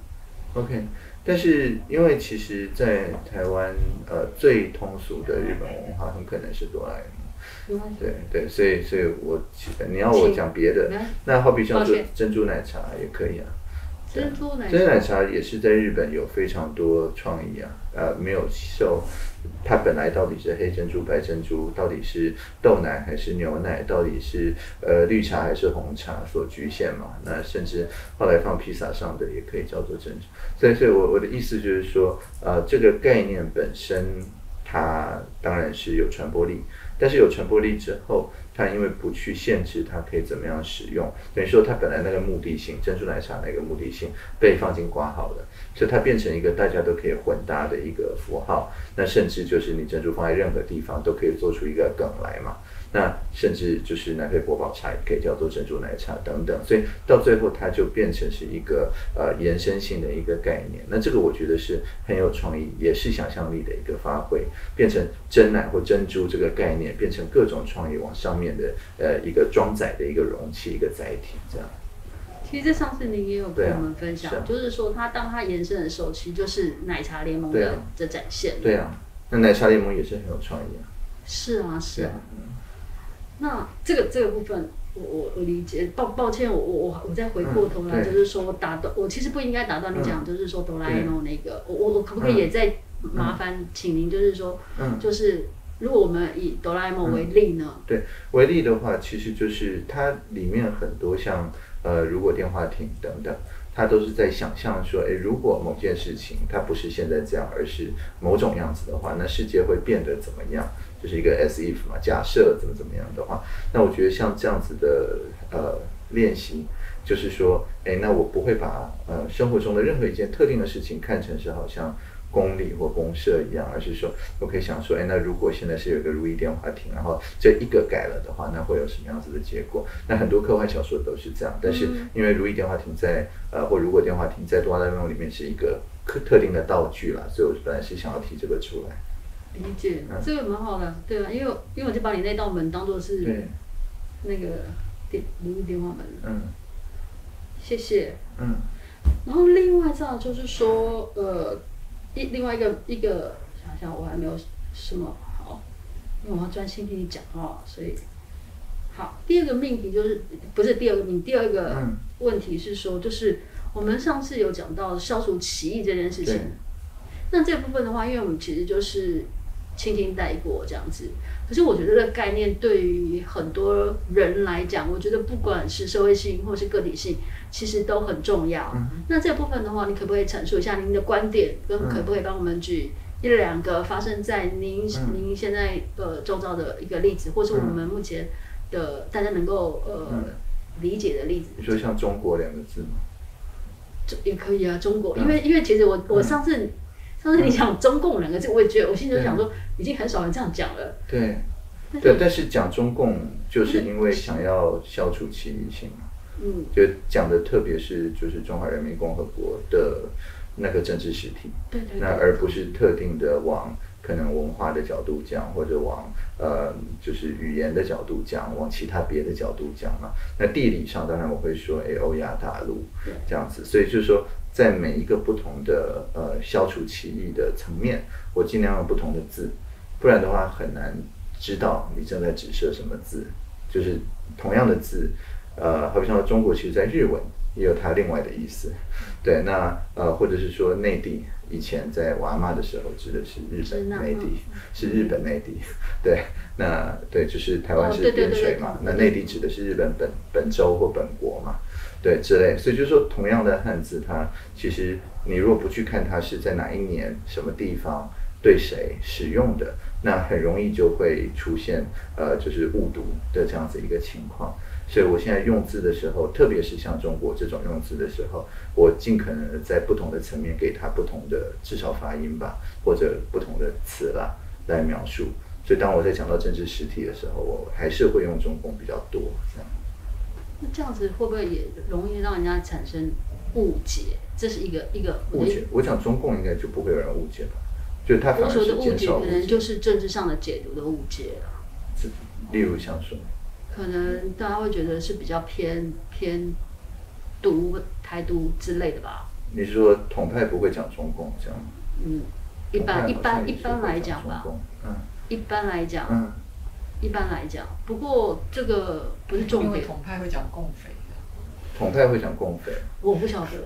OK，你说蓝统就是要去统一人家的 对，OK，对不起呃也也也是也是有了，不过那样子的话还是会讲中共啊，就是反共抗俄什么的，对杀猪拔毛，对，杀猪拔毛之类，那个也会讲中共啊。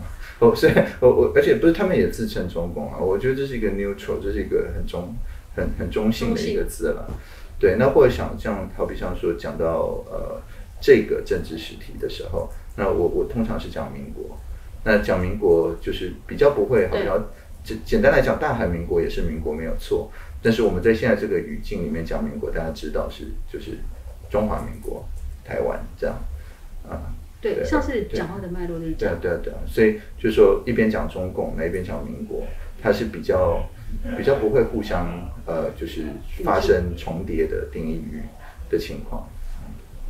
所以也就是嗯说，就是说，因为其实您刚刚也有解释，就是说消除歧义这部分它的重要性。对，那我也发现一点，就是说，那所以进一步来讲，就是说，其实您您之前的用用法是说，你对于认认知知或知识论上面的精准，你你这个部分你很要求。比如说，我讲两个小时，两点开始，然后你是说两点半，嗯可是其实你不是要纠正我，你其实是很精准的要求那个对，因为因为未来的人在看这个录影的时候，他不会知道到底具体是什么时候，所以就是等于我们尽可能在知识上面给他一些呃客观可以检证的一些知识。其实那也是一种同理，对不对？其实你已经站在对未来的读者来讲，对他比较好。对，其实对对对未来的读者，对，那嗯，对，就我又多学了一个件未来未来的，所以其实其实对你来讲，精确用字或这个事情，这个其实不是中间我插出来这一条，就是说嗯。我们延续刚刚讲的消除歧义这这这个例子来，他是在省未来的人的力气。是对，是，那等于是说，就是说，所以对你来讲，你也很严格要求那个精确用字，对不对？就我如果花一两秒可以找到一个比较精确的字，但可以省掉就是未来一两百人一两秒，那这就很值得嘛。可是那个也是一种公益性啊。对当然了，当然。那如果说，假如说讲，既然我在我在我的生活当中，或我在我的职场当中，有时候其实其实就就是回到就是刚刚您讲的，如果我就是一个职场小白的时候，嗯那个时候怎么办呢？如嗯，果大概就不会很 care 公益性了。呃，我是说脱离公益性的时候，因为您您的那个呃公益性的那条脉络，嗯我我我我我我我有抓住、啊啊抓出来，因为在不停的离经的过程当中。对啊，对啊，对啊。但你不 care 公益性的话，你当然也不用特别 care 用词啊。哦、no no no，就是嗯我觉得您还有教，还有告诉我、嗯跟我们分享的一个部分是说，除了就是说呃公益，就是我我其实是可以在我其实只要我参与，对，我是我是我的我是我是那个群群体里，就是 engagement，就是我就你你这也是你、嗯你你讲的那个字眼。嗯我参与在里面的时候，其实我其实就已经在参与公益的这件事情。那其实对于一般的职场里面的人来讲的话呢，或者是是生活里面的人来讲的的的人来讲，他其实是可以借由那那时候你有举嗯。呃，我我我想到的那个例子是，就是你阿妈，你你你嗯外婆的的邻居六十岁的老阿妈，嗯。六十岁的的嗯，老阿妈，她七十七岁，那是对，嗯，对啊，你跟我讲六十几对六十几岁，，anyway，嗯，啊，对他讲他讲到那个口罩的问题嘛，那阿吉他也在参与了。那那我要讲是说，就是说，嗯，我怎么讲到这个啊？嗯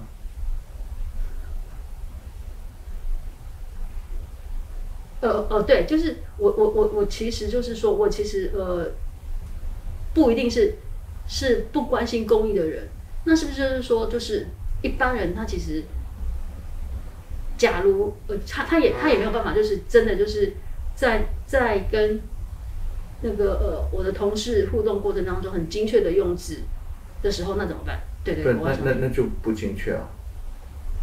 因为他其实不需、不需呃，那我我我我我好，那我这样问好了。如果今天我们不是因为有、嗯。有有录影，然后让日后的人他对对未来人生利器的话，那比如说，可是我觉得，比如说您假设今天没有投入那个公部门的时候，其实那时候您自己在翻译，跟您自己在做您很多事情的时候，其实您也是一个，就是嗯。不一定是严谨，但是生活严谨，就是说你你也是在追追求知识跟认知上面很用字很精确的人。现在翻译还是会发表啊，发表还是会有很多不特定人看到，并没有什么不同。嗯，那这件事情的重要性是，就是如同您讲的，如果我们撇开所谓的公益两个字，嗯就是就是我们就是为了为了，就是是不是就是说就是您讲的就很简单，就是我就是为未来着想，就这么简单。这当然了，嗯那所以其实如果说我是一介凡夫俗子，就是就是就是就是一般的人，其实我其实只要我就是这个是最最基最 com common common 的，就是最最平凡最简单的，还是说它是它是一件就是我要我要特别特别就是强化自我的一种能力。我我知道这是一个很破很破碎跟很分裂的就完全没有脉络，对嗯，的的的完全没有，脉络，嗯没错，嗯对。但是如果讲，可是嗯这世界就是这样子常常是没有脉络，嗯所以常常对，那在没有脉络的情况下，你爱怎样就怎样啊。但是很容易就因为这样子，好，他就变成嗯别人眼中的你，但是这样会变成套套逻辑啦。我我嗯我我，对对吧？不，就是说简单来讲，就是说我们刚刚在讲的很很，其实概念很清楚。就是如果你在写一个东西、讲一句话，或者是做任何一些创作，那你的目的是要给未来的不特定人，而且可能很多人呃所听所看的话，那么用词尽可能的不要有那么多的歧义性，呃，对于知识的传递是有帮助的。那这这个概念其实呃极为简单。那但是这并不是去否认掉说，好比像说，有的时候一字双关，它可能在诗上面有它的美丽之处；有的时候，呃，有一些喜剧或者一些幽默，它就是靠着这些意义的不明确来达到，也没有说，呃，我们在日常语境当中总是好像作者发表作品那样子，因此也不是随时都应该要要求精确。所以我刚刚讲的这一个，并不是说其他别的地方都一定要套路套用这个脉络嘛，所以当时才会说。诶那如果去掉这个脉络，好像说随时随地都是要这样的话，当然不是我的意思啊。对对对，这样谢谢，清楚很多。嗯，对，不然很容易，因为很多人会很很想要向您学习嘛。那很多时候就是说，可能真的用字没有那么精准，嗯或是说就是说，如同就是说我刚刚那个状态，其实那个脉络跟那个思考的逻辑是碎片化的。对对对，那这样子，可是这种情，可是可是可是我这种情形就是常常发生在我们的日常。当然了，当然了。那所以就是对话的其他人要帮忙补上脉络嘛。对对对对，这在互动，对对啊，对，谢谢。嗯，好，理解。所以都有一个前提在嘛，对不对？对因为我觉得这样会比较，我们会把事情理清楚一点，不然很容易就会像上次一样，嗯经典跟小说的阅读的差异性。好，另外再来就是说，我们还有一个呃好处啊。那您好，对，等一下，消除期这边我还想要请教，呃，难难处其实您也有提到了。好，另外再来就是说，我们之前有讲到倾听的力量、思考的力量，然后不一定力啦，那个是我讲话的习惯，它的效果，对，嗯。对，不一定就是效果论，嗯。因为对，那呃，可是有一个部分就是我们比较没有，我们没有讨论到，就是说，就是笔书写书写的那个带给你的意义，我觉得我不用力量了，因为你那时候你讲说就是滑啊，或是打键盘啊，对，它比其实较线性，对。对，而且它其实会打断了你的思绪，对，然后它其实会就是对会打断你的思绪。那基本上就是说，你怎么你怎么用笔写，你怎么写，你怎么用你怎么用笔的，你怎么写，嗯。然后呃怎么样标注的，你可以跟我们分享一下你个人的经验吗？因为嗯我相信这个部分也是很多人想要学习的。嗯，为什么想拿书给你看？就是我想让你看那个，了解你的笔记的做法，请啊，不要客气啊。我没有带啊，因为我怕你笑我啊。嗯，OK，那 OK OK，总之呃，大概我大部分都是用手写板，那不管是 iPad 或者是目前的手机是 Note，那都是用笔嘛。那写就是想到什么就写什么。那如果不是字可以表述的，就用画的。那然后写完之后？呃，怎么画？好比像说像，呃想到一朵花就画一朵花嘛，想到哆啦 A 梦就画哆啦 A 梦。对，就是有时候你画一个哆啦 A 梦比写哆啦 A 梦来的快嘛。对，那所以就就写下来，写下来之后，如果有别的概念跟它可能有连接，那就写在它旁边嘛，然后中间画一条线嘛。那呃，随着时间过去，当然会有越来越多的想法出现。那这个时候可能就会去搬移这些概念到一区，或者是缩小它到这边，然后再整个放大看里面的细节。所以其实它也是编辑工作，它不完全只是呃记录。那这里就是为什么需要用呃就是电子的方法来记录，因为如果是纸本的话，其实没有那么容易，除非你一开始写的那个载体就是便利贴这种本来就很容易移动的东西，不然的话总是在就是荧幕上面或电子纸上面是比较容易呃写了之后再去翻译它。那这样可以全文检索吗？可以啊，对啊它可以做笔记辨识嘛。哦，就是你讲的那个对 OK。OCR。OCR，对对，我西亚。那您最近这个不，您最近嗯你可以现场嗯，写白板吗？可以。可以啊，嗯，对啊方，便吗？可以啊通常你的你嗯方便吗？那那那个要要要不要请哦，就没有关系啊，进来录无？所谓啊，我们就可是我以超出超出敬畏以外，对，这样。可是你这个可以让大家看，我们要为了未来着哦，想，好啊，那你就就这样吗因为因为它那边有一个监看的这，边可以看。哦好，对啊，所以就你你你调到白板上就是了，对啊我。请做个，嗯，也可以啊，你可以从桌看，你也可以直接搬到桌子。上，等等。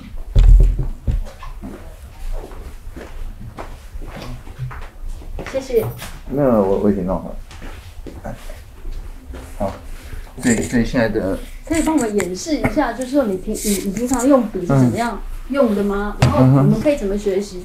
因为很多人他可能画一个圆，或或是他像写那个律师，他会好多那种。嗯那您平常是怎么样？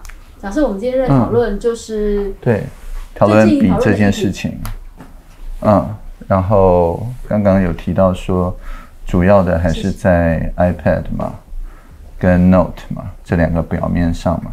那这两个表面就是暂时都先把它叫做呃就是书尾了。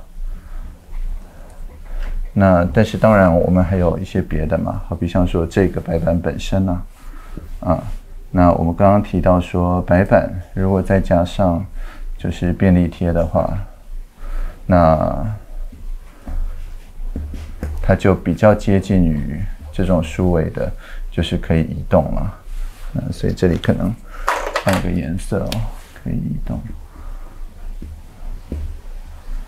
所以过程当中你你也会换换颜色笔，对不对对？，然后数位的部分当然还再加上我们刚刚讲到的，加上 OCR 功能的软体嘛，那它就可以进行就是全文的检索嘛。嗯，好，然后我们刚刚提到说，就是可移动跟检索这两件事情，大概就是呃脑里脉络形成的这个过程，所以这里面其实这两个大概都是在讲脉络这件事情。好，那所以不管是从检索得到脉络，还是从可以移动的这个部分，一定程度上面形成脉络，它当然这个脉络有几个功能嘛，一个好比像说它可以重建讨论的过程。好，那第二个是说，如果就是你不是想要重建讨论过程，你想要得到结果，你想要划重点了的话，那就是它可以呃，就是召唤行动嘛。就好比方说，前面的这些都不重要，你只想要知道说，哎，用笔这个有哪两件事情可以做？那你只要看它的右下角，就是这是一，这是二，好，这样子你就看完了。等等，大大大概是这样子的。后面这就是结果论。对啊，对啊，对啊，嗯。那后前面那个的话，就是有例它它的过程嘛，对，就脑里冒出什么想法这样。嗯，这样 OK 啊。好，我们继续。谢谢谢谢。回到本来的经验。嗯。谢谢，我相信这个对大家来讲应该很有很有帮助。嗯。行啊。嗯。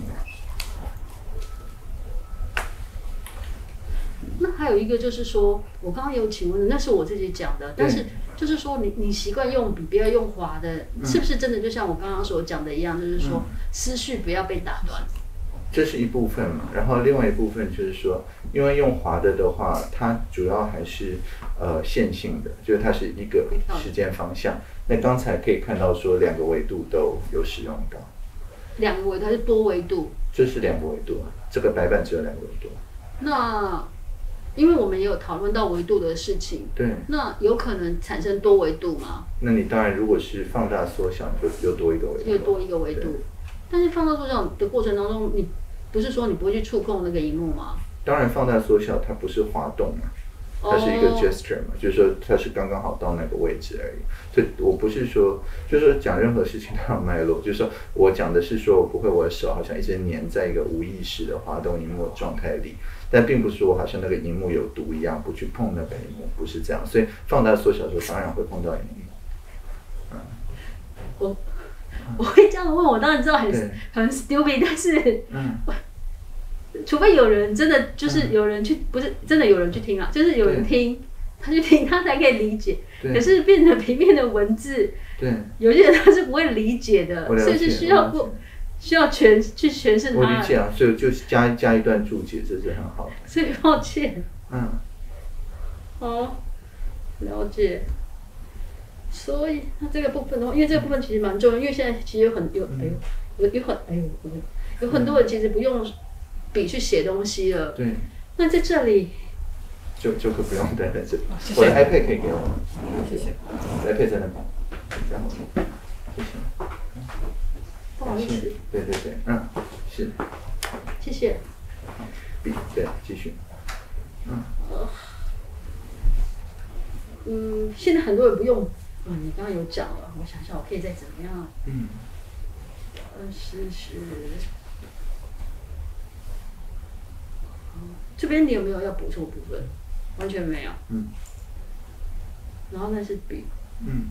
对，而且我也亲眼目睹你那时候在会场的时候，你真的就是用笔在做。嗯。一个在做 note。嗯。你要看那张照片，待会可以给你看。好啊。好。好，另外再来就是说，嗯，呃，二零零五年二月到二零零六年十一月有没有？你两年到二十个城市，然后那时候就是说，呃，你是受了一个数学教授的影响这样子。那呃，你在你自己有你自己的一段探索的探索之旅有没有？那虽然有人会觉得说，好像就是以前就是有所谓的 gap year 嘛，然后也有所谓的壮游这样子，那。对于现在的，因为我们之前有讨论，就是说，就是我呃，因为现在呃，网络上的的那个就是互动有没有？其实它本身其实也是一种，也是也是互动，不一定就是宅在家，因为嗯，对对，那那所以就是说，那你对于就是说呃，因为对现在有很多年轻人，他们其实比以前更愿意给自己就是说呃多一年的时间，或甚至像现在的大学里面。我们其实也有很多那种交换学生，或是出国去出，就是呃，反正就是到国外一年的时间，花一轮。然后对，那你你给他们的就是说，呃，你自己的，你可不第一个你先谈一下你这一段，我这段很精彩，然后他也有写了，嗯，但是在另外一个棚面写的，我还是希望说你可不可以帮我们阐述，因为我相我相信，嗯，也你再次再去阐述它会不一样。嗯你的探探探险之旅是那一段时间是一个什么样的过程？然后对，嗯就是给予年轻人的建议，两个两个问题。一个当然就是因为我是带着一个专案，是为了要学习这件事情，而这个专案又非常复杂，以至于如果不是全球呃的专家一起来做，是不可能有机会做完的。所以是怀抱着像这种呃大家都是一大块拼图里面的一小块拼图的这种心啊、去做，所以它比较不像是说好像我去一个地方我就待在那个地方，而是说呃当时这个题目需要带我去哪个地方我就去哪个地方，所以这个跟 e r d u s 是比较像的，而比较不是传统上所谓度假打工或者交换学生那样子的太阳，因为那样的太阳你在出发前大概都已经知道你这段时间会在哪里。对，但是我在当时去第一站的时候，并不知道我最后会去哪里，啊，那所以这是大概最大的不同。那你说有什么建议吗？我我觉得重点还是要找到对，在那两年，所以那嗯。两年的收获其实就跟那个棚里面、另外一个棚里面讲的一样，是是一样的。对啊对啊，就是可以可以可以很自在的 面对自己英文不好，对啊这个呃事实，因为发现到其他地方大家英文也都蛮普通的，对，就是不用文法很完美嘛，就可以不怕讲这样，嗯对。嗯，对。然后还有就是真的，你真的住到人家把你赶出来，你才走。就是说他会建议说，哎，其实这个题目在我这边也只能解到这个程度了。那有谁就是比较适合你，不如去那边，这样确实是这样。那你蛮精彩的哎、嗯，是啊，那除了就是说有目，就是说就是你是带了一个、一个一个一个专案一个 project 对，过去我，每几天都会写日记啊，那些日记现在都还在网络上。可是我在你的工作哦，那是工作记录，是二呃，零一六那是我工作的。那我在讲的是 pugs 点 blogs.com，嗯，对，那那个是就是当时的等于日记了，每一篇都是第几天第几天这样子有理解那个部分，就是说，如果说你会，我我知道，好，对不起，然后对，那你说有什么具体建议？具体建议大概就是，呃，不用觉得好像语言本身是你要充分掌握才能使用。相反的，其实就算比手画脚，或者是这个语言是呃你在使用时候完全时态啊，这个呃就是复数、单数型全部都用错，那那这也不错啊。就是对方第一个还是其实听得懂嘛。那第二个是说，这也是让就是大家在讨论的时候更有更有意思嘛。所以简单来讲，就是说不要因为觉得自己语文能力觉得不好啊、觉得怕被人家笑而不使用这样。对。可是你讨论的问题都是我看到，就是都是论文呐、还有就是对啊它的命题其实都是还蛮深奥的。其实比手画脚真的听得懂吗？可以啊，当然可以。那啊，你一样同同同样的问次数，还是要请教你，嗯就是说，那那那你你在那个时候，你曾经发生过一个什么样的情境？然后然后后来其实其实就是就你给他们建议，就是说嗯语言其实不是最最最最优先的，然后嗯您其实迎刃而解了。就也不是迎不迎刃而解，就是纯粹日常的那种态度嘛。嗯对，像呃，我这几天呃才去跟一个叫做浩尔的一个呃翻译者去录一个叫 VoiceTube 的一个学习的一个历程。那呃就是在教大家怎么样不要怕讲英文的这个过程。那然后他最后就要我这个用英文跟日本的英文学习者讲一段话。这样子，那然后因为他也好像要给日本的朋友分享，他可能会下字幕之类的，那我当然就是用英文讲嘛，对，那所以呃我一开头就是说这个呃就是 you doesn't need to care 呃 about the grammar 之类之类，那当然这个本身就是文法错误，因为是 you don't 才对，那所以就是像可是诶你也听得懂啊，我讲 you doesn't 又又怎样？那事实上，呃，在网络上也有一些 YouTuber 啊、有一两位，他们专门做一集来讲说我在跟国际媒体讲话的时候，我的英语犯了哪些错误，啊，这样子。对，那但是对对对，但事实上并没有影响这个讯息的传达嘛。所以如果你要具体的例子的话，或许可以去看这些 YouTuber，你只要去找什么唐凤的英文也不是一百分，唐凤的英文什么有什么问题，很快就会找到这些 YouTube，怎么会有人那么无聊？都也也不错。那 除了语语文之外，对，那对于现在就是说，好，另外一个这就是比较实际的问题了，就是大家会觉得说，就是宅那个事情嘛。对那扣掉我们上次，除掉我们上次，所谈的就讨论的那个宅也不是一件不好的事情，它其实也是一种交流，有没有？对，还有没有一个就是说，就是我我是不是非一定要要要要所谓的壮游？因为壮游其实是是是另另另一个朋提出来的一个名词这样子，而且他讲的是中年壮游，那是不是就是说呃呃一定要走出去呢？不，当然你就是就算是在台湾，你不用半小时，你也可以到一个完全不同的文化嘛，所谓岛内移民啊之类，所以就是转换一个不同的文化的视角，它当然有好处，但是不是一定要花很多的力气出国，大概未必。嗯，这部分可以帮我们多就好比方我去乌来山里，这也是一个这个文化上的转变啊。嗯，对，那这个就没有出国啊，也不用过海关什么。那第三个部分的话，就是说，这是我自我诠释。如果错，请你 say no。就是说，第三个部分是不是也可以说，就是说，因为科技的关系，因为我不太想要去引导或是导入，就是比如说什么 AI 五 G 那个部分。第三个部分是不是也是因为科技的发达？其实我们还有我们上次讲的 VR，有没有？就是你今天就算你不是在火星上面，对，可是其实你可以透过 VR 可以感受到火星。对，确实是这样。对，或是你看到就是说地球其实是一个。很脆弱的一小船的感受一样，是啊，所以那个部分的话，是不是我可以就是借助科技的力量，嗯，的部分那个部分的话，是不是也是可以？不管今天是给年轻人的一些建议，或是破除一些迷思，这部分可以帮我们再阐述一些。不过我觉得这个跟壮游还是不一样啊，因为你一个人在。那边带着 VR 看火星很感动，那个种感动就跟可能就是看不知道魔戒或精灵宝钻那种，那还是很个人的事情嘛。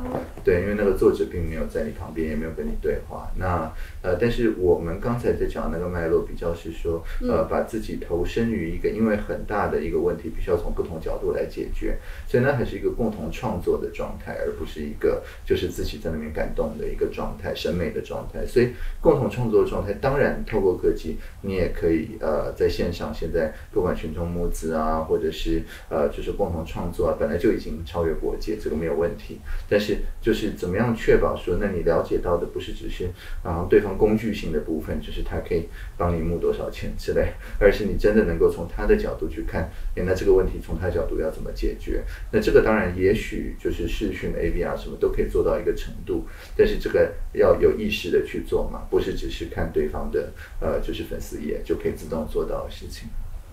理解，谢谢。所以是不是我也可以说，就是说，在那前提底下，就是有一句话叫，有一句成语是厚积薄发嘛？对。是不是就是说，我的理解是说，如果要达到像你这样你这样的境境境界的话，是不是？其实你在很年，你在十十四、十五、十六岁的时候，你其实几乎把很多。东西方的经典都已经读完了，是，所以其实我有那些底蕴之后，其实当然我今天不管在线上线下，我其实就至至少在认知上面就可以理解了。那认知的不正义，或是那那那那个就是另外一种视角了。我我是不是可以这样理解？我知道你的意思，确实啊，就是如果你事先已经对对方所来的那个文化的脉络有一些概念上的了解，那这样子的话就更容易进入对方那个情境。那这个时候所谓的经典当当然是有帮助，对。所以我其实就是真的就是就是不不不一定就是传统讲的那个就是就是那个呃读万卷书不如万里路，其实那句话也可以被颠覆了。对，但是那个前提还是说，你读万卷书的时候是保持着一种好像是你去人家做客倾听的那种心情去读那万卷书。理解理解，因为现在人其实就是缺乏倾听这件事情嘛。像司徒达健老师也是把听这件事情放在最前面嘛，而且时刻是提醒你去问你理解。其实，对，所以我就说你很简，是一个很简单的人嘛。你自成一自成一个脉络。是。然后有想要确认，在也只是确认，因为就是回到倾听，因为刚刚说找到问题啊，问对问题啊，这个就是大家常常在讨论怎么做什么步骤，但是您讲的就是倾听，就当时真正的倾听了，就可以解决了，呃，发现就可以找到问题，对，就可以找到问题，就可以发现问题，找至少问对问题，对对对，所以就觉得很很，因为刚好最近在看到那个密涅瓦大学这边在讲说，呃，发。就这个素养，找到呃问对问题的素养。是啊是。啊它会分成五个步骤，然后还会就是分析现况、设定目标、主要障碍呃问题规模、避免失标，然后还会讨论到就是条件限制。那他们还有一个讨论区叫 forum 嘛，对，可以线上及时的把大家的拼图拼起来，对，但是但是从刚刚我就在对应说，哎，倾听也是在分析现况嘛，对。啊，然后倾听也是可以设定目标，然后找到那些限制条件。对对对对，所以其实是最大的差别就是对我来讲，我不需要是解决问题的那个人。那嗯后面就是你刚刚讲这些比较应用性质的，它都有一个前提是说，最后我发现问题之后，我还是得自己解决。但是对我来讲，并不是这样子，大部分都是大家已经解决了，只是这个解决问题的人他的解决方法，其他人还不知道，或者有所误解。那所以我的工作只是把他的解决问题的方法呃通案化，然后让大家可以了解，那问题就自然解决了。其实我并不需要去解决那个问题。但是用在说现在要找到问题的症结的话，倾听也还是就是这个永远是最重要的第一步。就是假设这个问题不是只有你自己遭遇到的话，那你去倾听，碰到这个问题，说不定碰到比你还久还严重的人，那总是比你自己空想要来的好，当然是如此。空想跟冥想的差异点在哪里啊？嗯，就是空想是你去进行思考，但是没有思考的素材嘛。对，那冥想当然一般是觉得已经有素材了，那您在冥想的时候，您的素材是什么？就是我们白天的互动啊。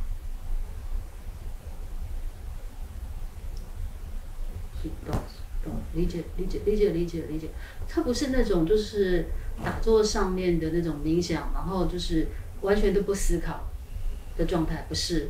应该是说比较不是嗯去诠释性质的思考，但是当然还是有思考在发生吧，只是说不是你随时锅盖打开看一下蒸熟了没有，当然不是这样。嗯，理解，就是很很焦。对我们那时候有举一个例子，每、就是很焦虑的去打开它的时候，啊自然蒸不熟嘛。对啊，对啊。嗯，懂，谢谢。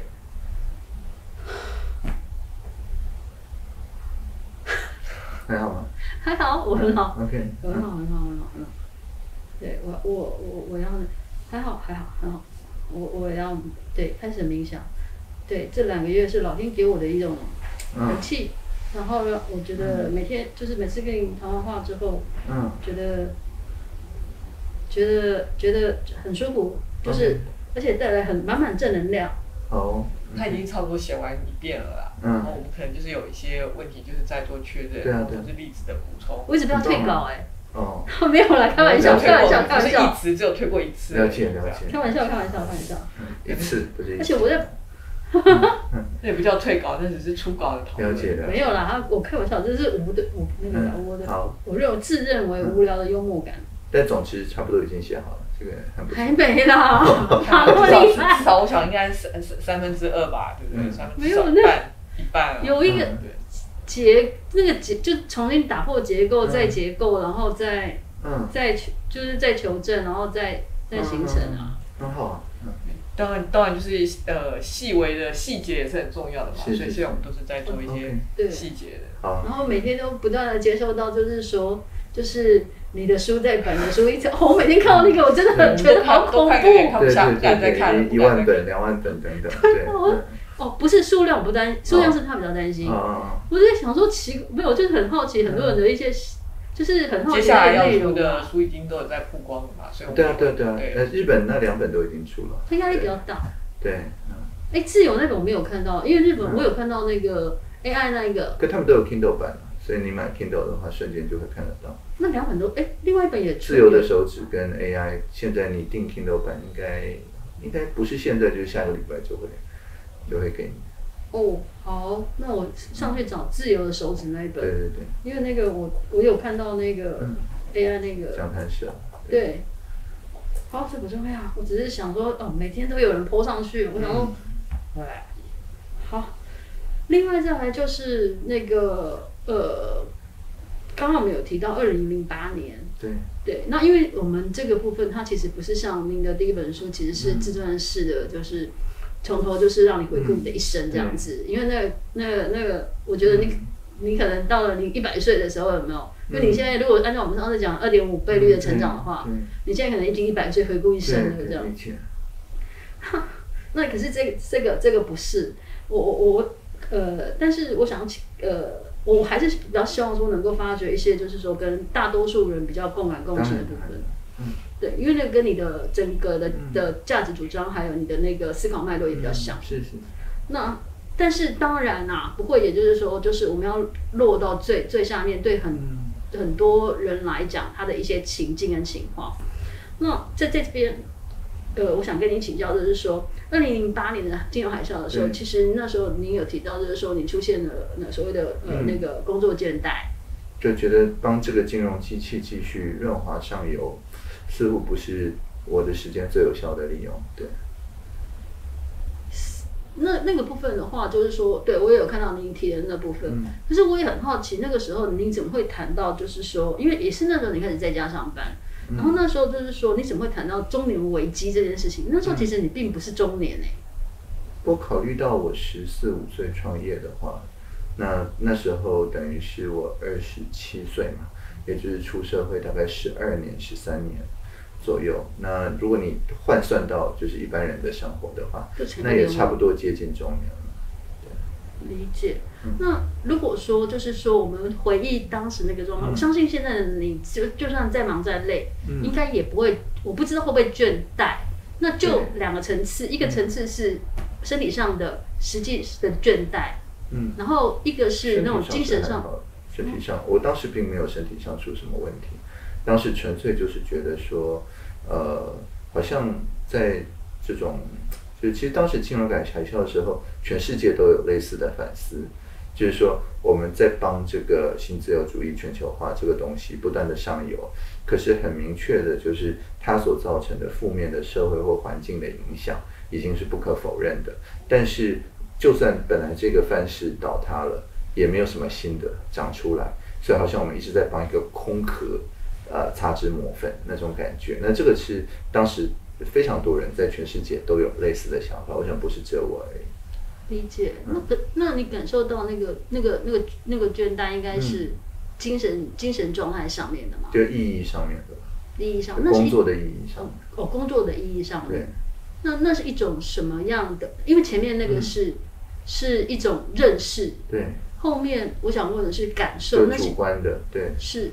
主观上面那是一种什么样的？因为好比像说，当时我的工作包含说，呃，让一家银行可以，呃，不是花十天，呃，印制出所有它的订户的催缴单。而是能够一天就印出来之类的了，那或者是说，对，就是它的效率会提高，可以更快的催缴啊。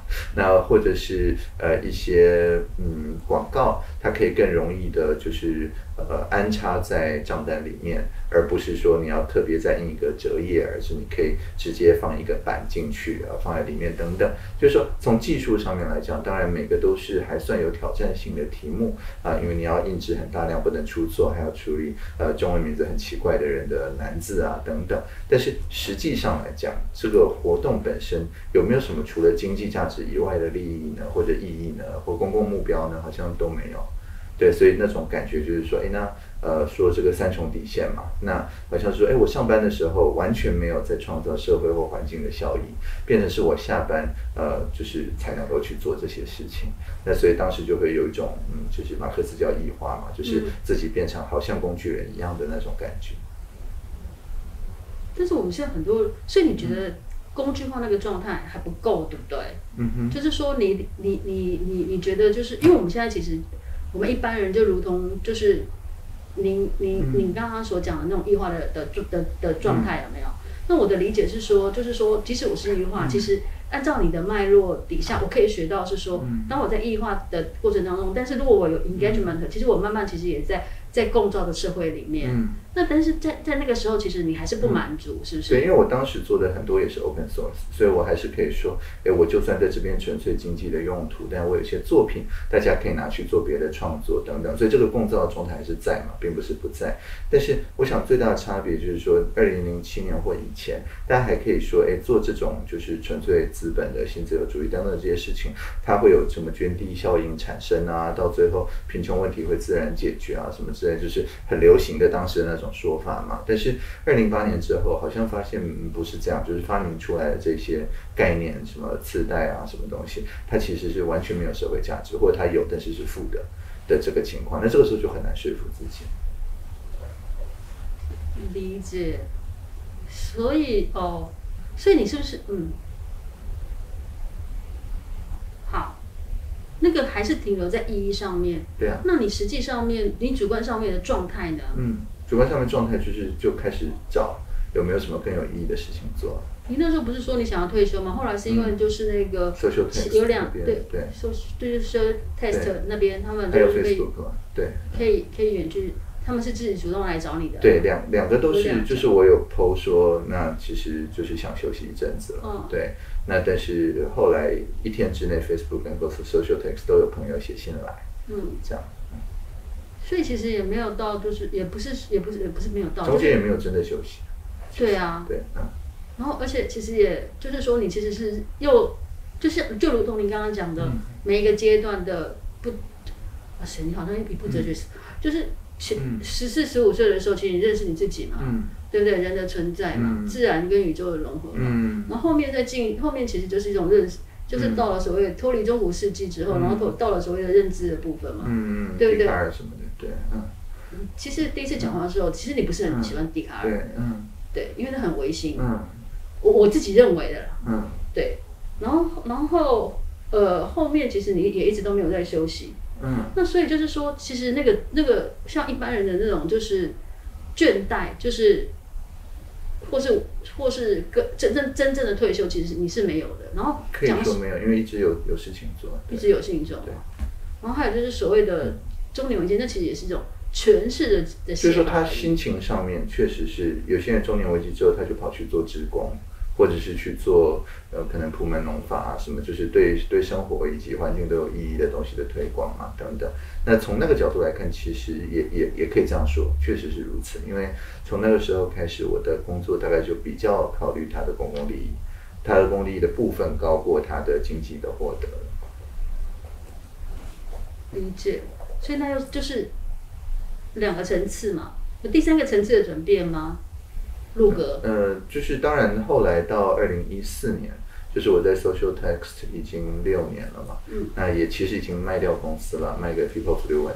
那苹果那边真的需要我写程式的，差不多都已经写完了，那很多都是在交接给就是年轻朋友们，对，那所以就是当时我就是完全是顾问的这个身份，那大概都已经可以说是绝大部分的时间都是自由的。那所以那个时候才会想说，那我花更多一些时间来做像蒙点啊这些工作。对对，蒙点现在还在进行。当然当然还在改，所以现在就是那蒙点上面我我可没有赚任何一分钱，所以它不是说公益大过经济收益，而是完全没有经济收益。你从哪一什么时候开始？你你你你现在因为呃上次。您您好像也有在在公开场合讲过，就是说，嗯，就是呃金钱的部分，就是呃呃，就需要多少赚多少，对。那您现在的您现在的那个就是公务的收入，是不是也都捐出去了？嗯，也不能这样讲，就是我现在收支大概刚好平衡，对。因为我看您周周聘请或帮忙人其实也蛮多的嘛，对对对。所以其实也是刚刚也也其实那个也等于某一个层次的捐出去嘛。就是有些时候，好比像说，呃，有些朋友愿意来这边服务，但是那个薪水事实上跟他在业界薪水有短差的时候，有时候这个短差我会自掏腰包，确实是这样。那有时候要出国，那尤其在吴钊燮部长还没有来上任的时候，那那个旅费其实在外交部跟院本部都没有科目，那这样我就会自己都吸收。那等等，那这个大概总是几百万跑不掉吧？其实没有去算，对。理解，理解，理解。所以那个大概其实就是有三个阶段。第二零一四一四年那个时候，其实对，就跟真的，嗯，对，就嗯那到现现象论跟嗯语言学了，因为那个其实就是一种美的境界了。嗯所以你，所以你真的是维根斯坦的信徒。吗，可以这样说。嗯，因为语言最难理解嘛，那又回应到你讲的，就是用字要精准，嗯因为为了好，对，好，OK，好。那刚刚我们提到就是那个呃，嗯，我们回我们回，我看一下，还有时间，还有半小时。嗯对，嗯，另就是刚刚我们提到，就是说那时候就是那个到 Apple 嘛，然后你退下来嘛，然后你那时候在就是做，就是你也你有参参加那个 Siri 的那个那个设计的部的一部分。嘛，我去的时候已经他们已经买了 Siri 了，其实那时候 Siri 呃就是只会讲英语，可能跟一点点西班牙语而已。对，那我不是要问你嗯。母语那个部分，对。是就是我们刚刚讲到私人的部分，对，因为我看到就是说，其实你自己不管用中文、中用英文有没有，嗯。其实你也写了很多的诗诗有没有？对，那我想要跟你请教的是说，就是因为那时候其实你提到一个观念，我觉得其实是嗯。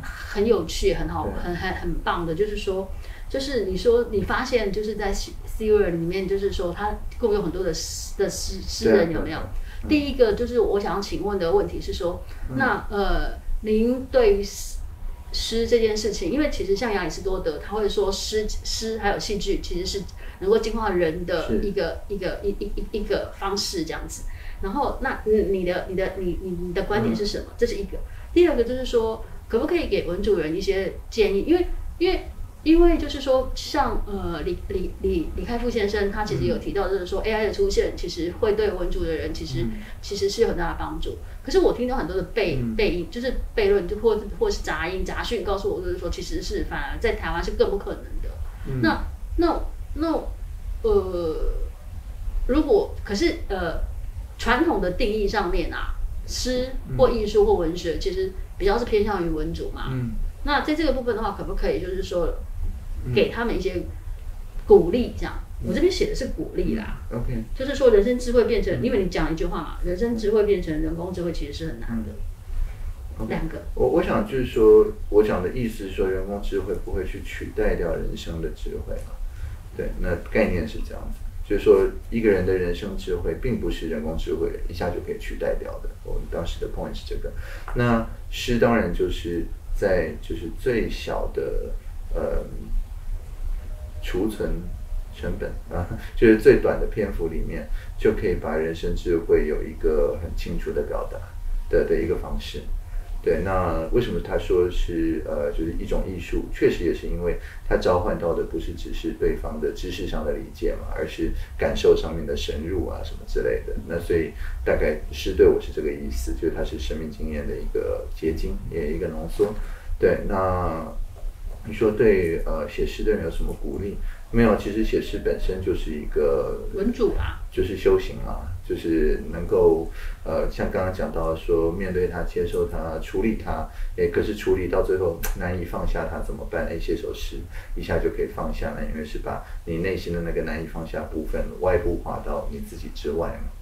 对，所以就是创作本身，创作诗本身就是一种放下的过程嘛。嗯可是很孤独哎、你说创作诗，对，也可以一群人一起创作了，看每个人的就是 style 不一样，有人专门接龙才做得出诗来，对不对？就跟那个，嗯嗯。嗯，对，就跟那个嘻哈说唱对啊对啊，要 rap battle 啊什么，对，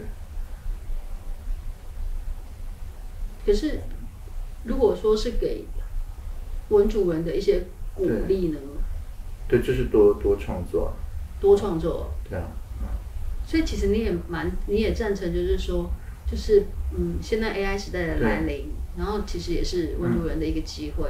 因为从 AI 的这个协助，可以让你呃，首先就是本来可能各国文学，你要先学会这些语言才能够去体会嘛。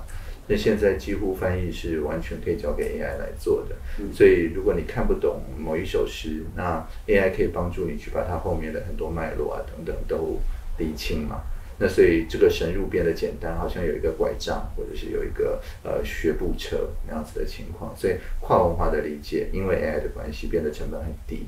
对，那我觉得这是一件事。那其他当然还有别的，好比方如果没有灵感的时候，AI 可以帮你想出四五个可能不是很好的点子，但是总之就是你看到之后可能有一些触动等等。就像你之前参加的 AI 音对啊乐，对啊对啊，就得给他一句话，他可以想出很多想法。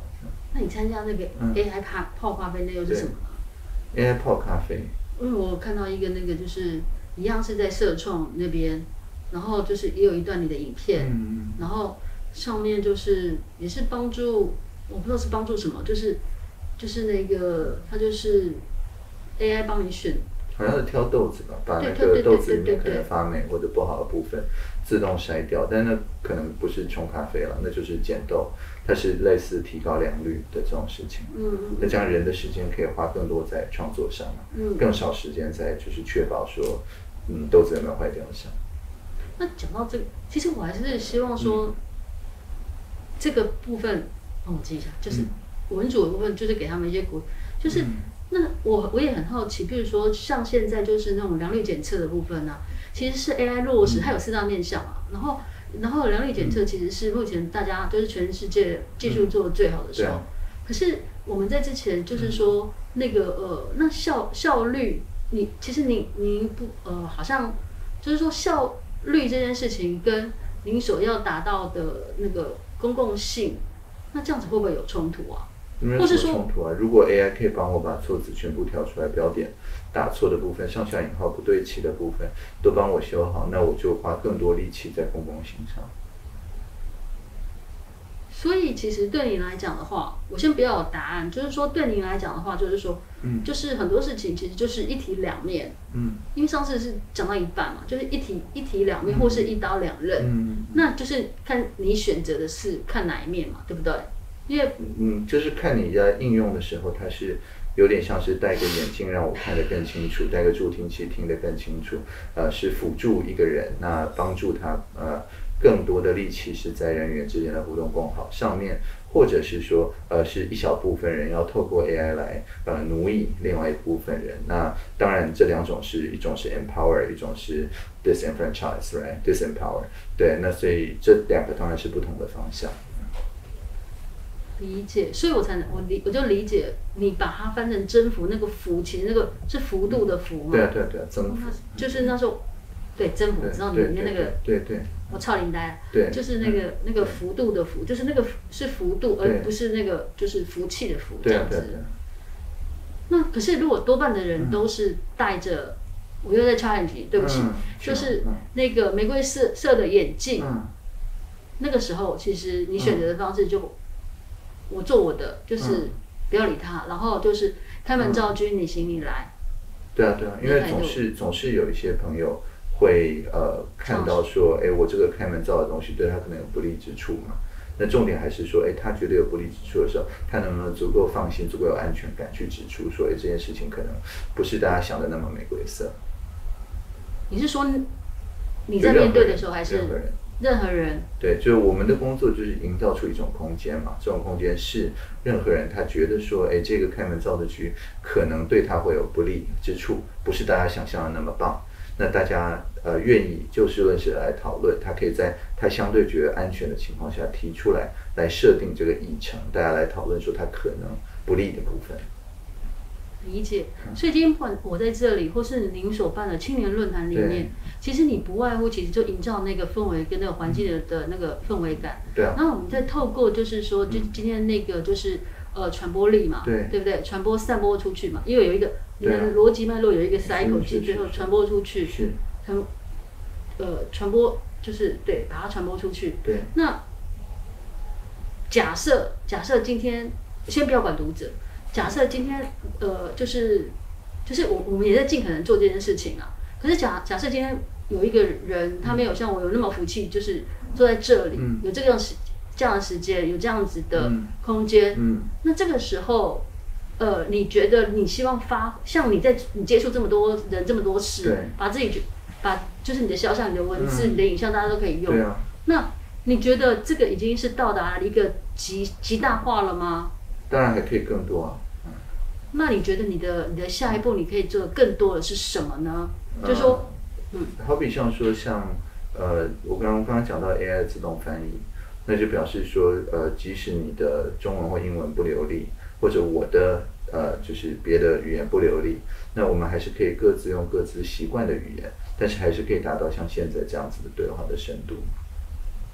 这个我跟日本朋友呃就是对谈的时候，一直都感觉到，就是因为他们要靠极细的口译，我也要靠极细的口译，但很多文化上的东西很难这样子翻。嗯，对，那当然好的口译员其实就是类似 AI 的作用嘛，帮助我们去呃了解到那个文化后面的脉络啊、背景等等。理呃对，但是这个是这个是在水平式上面的同步，但是我讲的是说。现在我们的传播力有没有？即使我们已经尽力，而且其实你的曝光那么多，你已经极大化你自己去做那个散散播了，因为在就是那个最后一里有没有？我我我不知道你可以做到什么程度？你觉得？不，那也不是我做，是你们做，是发行商做。No No No No，我我我不是这个问题，我我先我是说先你先抛开那个，就是我讲的是说，像包括您现在参加了很多活动。我我觉得有些场合，其实你出现在那边其实蛮蛮奇怪，但是你还是很愿意去，因为我我我其实能够理解你为什么会去的原因，因为其实就是那个传播力。可是我我我想要知道是说，你觉得以你的人生阅历经验，你然后你觉得你可以极大化到什么样的的的程度？可是我并不是为了极大化极大化，我纯粹就是有人邀，所以我去而已啊。所以我并没有觉得说好像我一定要极大化到什么程度。那呃我。我我还说你的意思说，如果我今天突然转念想要极大化的话，那可以做到什么程度？这是很有趣的假设性的问题，但我没有这样想过。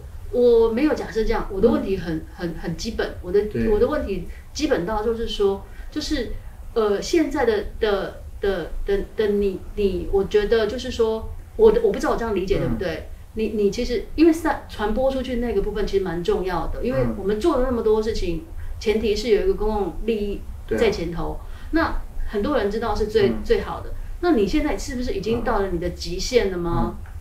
我的问题就是这么简单而已。可是我我不确定这个所谓我的极限是什么意思，因为我今天晚上还有还有一场，所以呃显然不是今天的极限嘛。所以，就你的意思是说我是不是每天？能够用来做公众的沟通的时间，呃，差不多已经排满了。是，那如果再多，就会影响到睡眠等等，就可可以这样讲，没有问题。是，所以其实现在已经是一个一个一一个。但你说有没有到极限？也没有到极限，你要硬硬塞一些，当然还是没有问题了，只是没有那个必要。那假设如果现在才是假设的，那假设就是说我们就是发心发愿好了。就是真的，就是希望说能够把这个概念，就是最难就是翻转那个那个那个思思考思想嘛。你也不见得要去翻翻转它，其实默默的改变它，自然至少进对啊，你你影响下一代总比较容易啊，对啊。对啊，静水流深，其实慢慢的，其实它就动摇了这样子。嗯。那但是我我想说的就是说，我我其实我好奇啦，我好奇，你可以拒绝回答。就是我好奇的是说，就是就是那那如果说今天就是让嗯。那那，你就是那那个极限，你你的传播力，它们传传播力，它的极限点会在哪里啊？就可能要大家一起来找吧，因为大部分都是二次、三次传播。我刚刚一直在讲，就是说我我这边只是一次传播而已啊。但是绝大部分，你刚刚讲说，哎，这个很多人都听过什么，那都是二手、三手、四手以上的传播，那那些我是毫无控制权的。所以，所以你要问说，哎，这些的极限在哪里？我也不知道啊。你去问台中还是台南？那那几家行台中发明珍珠奶茶的说，珍珠奶茶这个概念的极限在哪里？他也回答不出来。哦，那个是指的是，那个是无形的。对啊。但身体上、物理上的，其实你回答我了。对物理上面，就是说你这家店它的吞吐量当然就这样子而已。但这个概念本身，它一定比特定的产品或服务。散播的源，理解，理解，理解，理解。好，另外，等一下，所以延长时间吗？没有。另外就是，你你你要给我看一下，你因为我上次照的时候啊，你那个，我其实还想问你老舍，为什么你喜欢老舍，跟你喜欢那个漫画？因为后来我去翻。但是那个问题的话，我们先传一下，因为今天我应该要截图给你，是不是？上次拍会有反光还是？对啊，好，那我就截图给你了，这个可以之后处理。那你你你现在你现在可以可以我可以把它直接抄下来吗？我回去就你说书名吗？就那个对，我的 Kindle 是不是？还是就是那个第一本，因为我我照的时候就你那个 Wise Company 有没有？我有找到了，但是第一本对对对对，因为你跟玉次郎先生交谈就这一本不是吗？对对对对，是的，正确。然后那个，因为我想知道你的你在，因为大家都会就是请你来推荐书什么的，我觉得那个，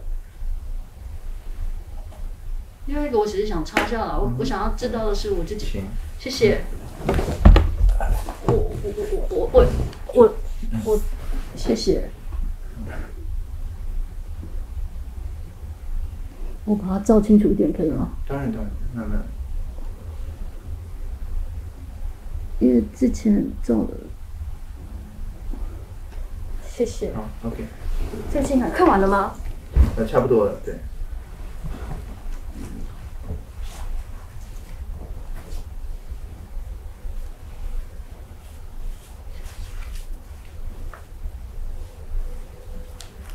好，你有没有要那个？不然我就没有。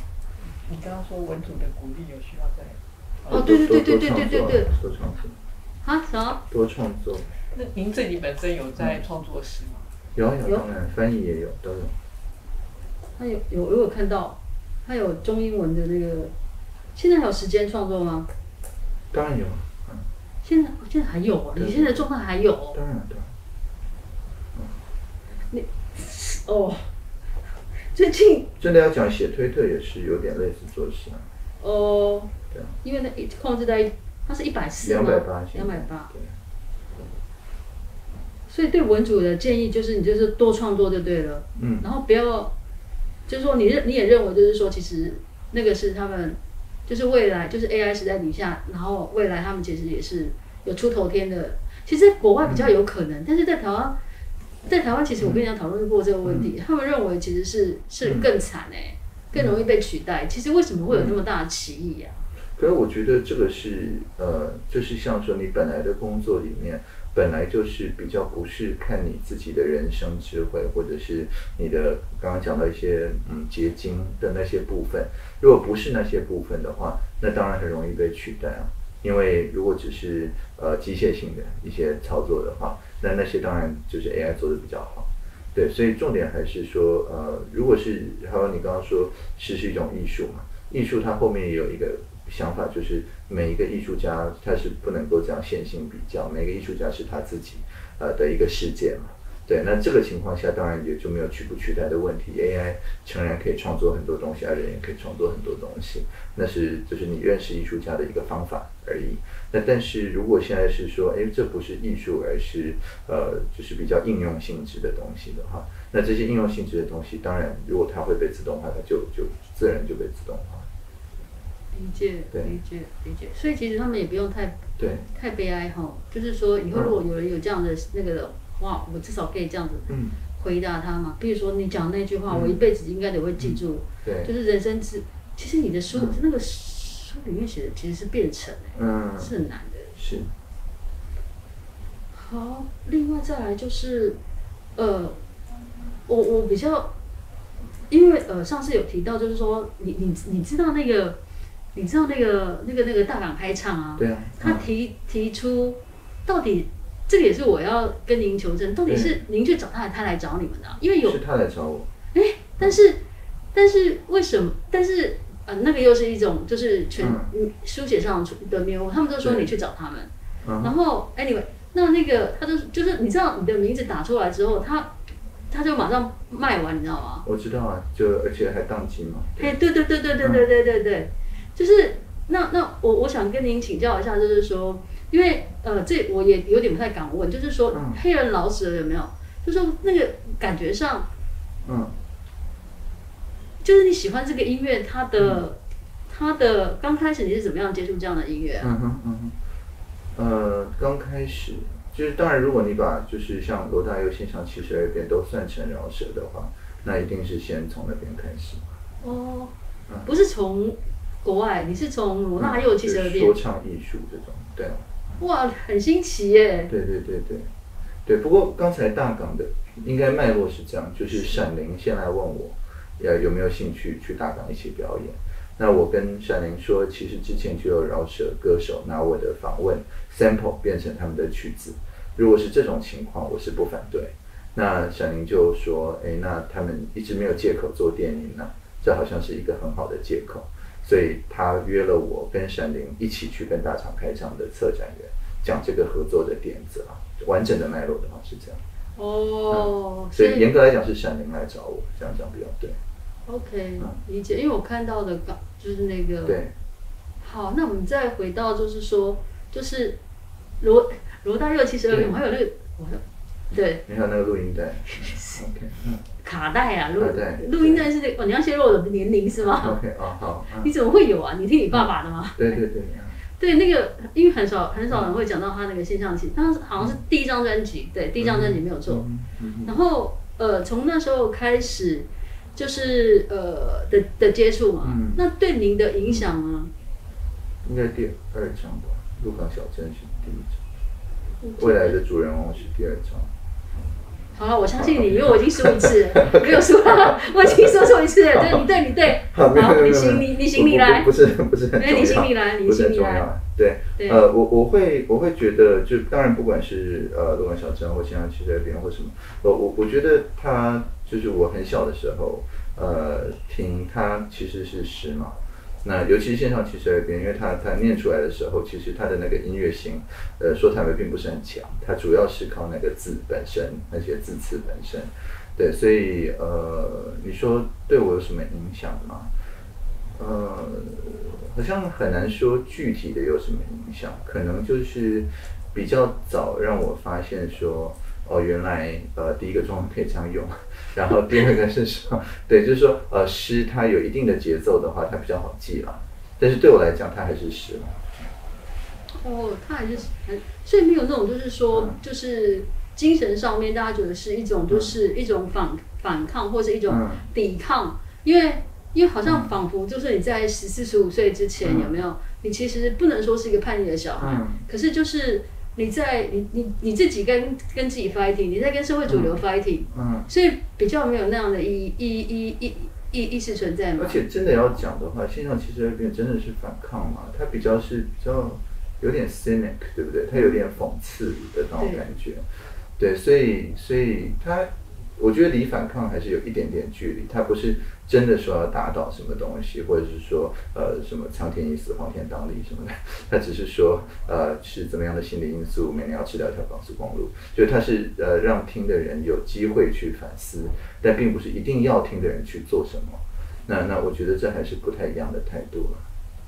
那后来呢？嗯、就是你这就是说，你比较偏爱这样子的音乐，到现在最最近呢？因为最近在听的是那个呃，Thanks for the Dance。没关系，我再问你。嗯，就是那个科 Leonard Cohen 的最后一张专辑。嗯。所以那个请，那请问一下，你在听歌的时候，因为你其实有听有提到，就是说，当你自己。在的时候八呃八个小时的时候有没有？除了睡觉之外啊，对，有时候如果你不要被打断的时候，其实有一个部分是你可以听听音乐这样子。对啊。那你当你在听歌的时候，你刚刚其实有讲到说，你听饶舌，饶舌最主要是那里面的词，对不对？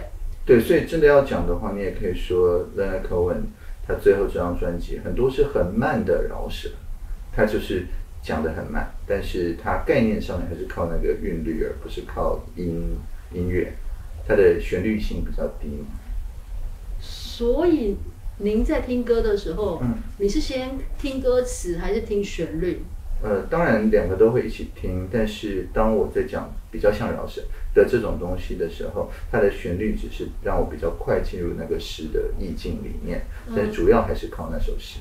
可是它不会打断你的静默时刻吗？呃，应该还好，还好，因为它比较慢，对不对？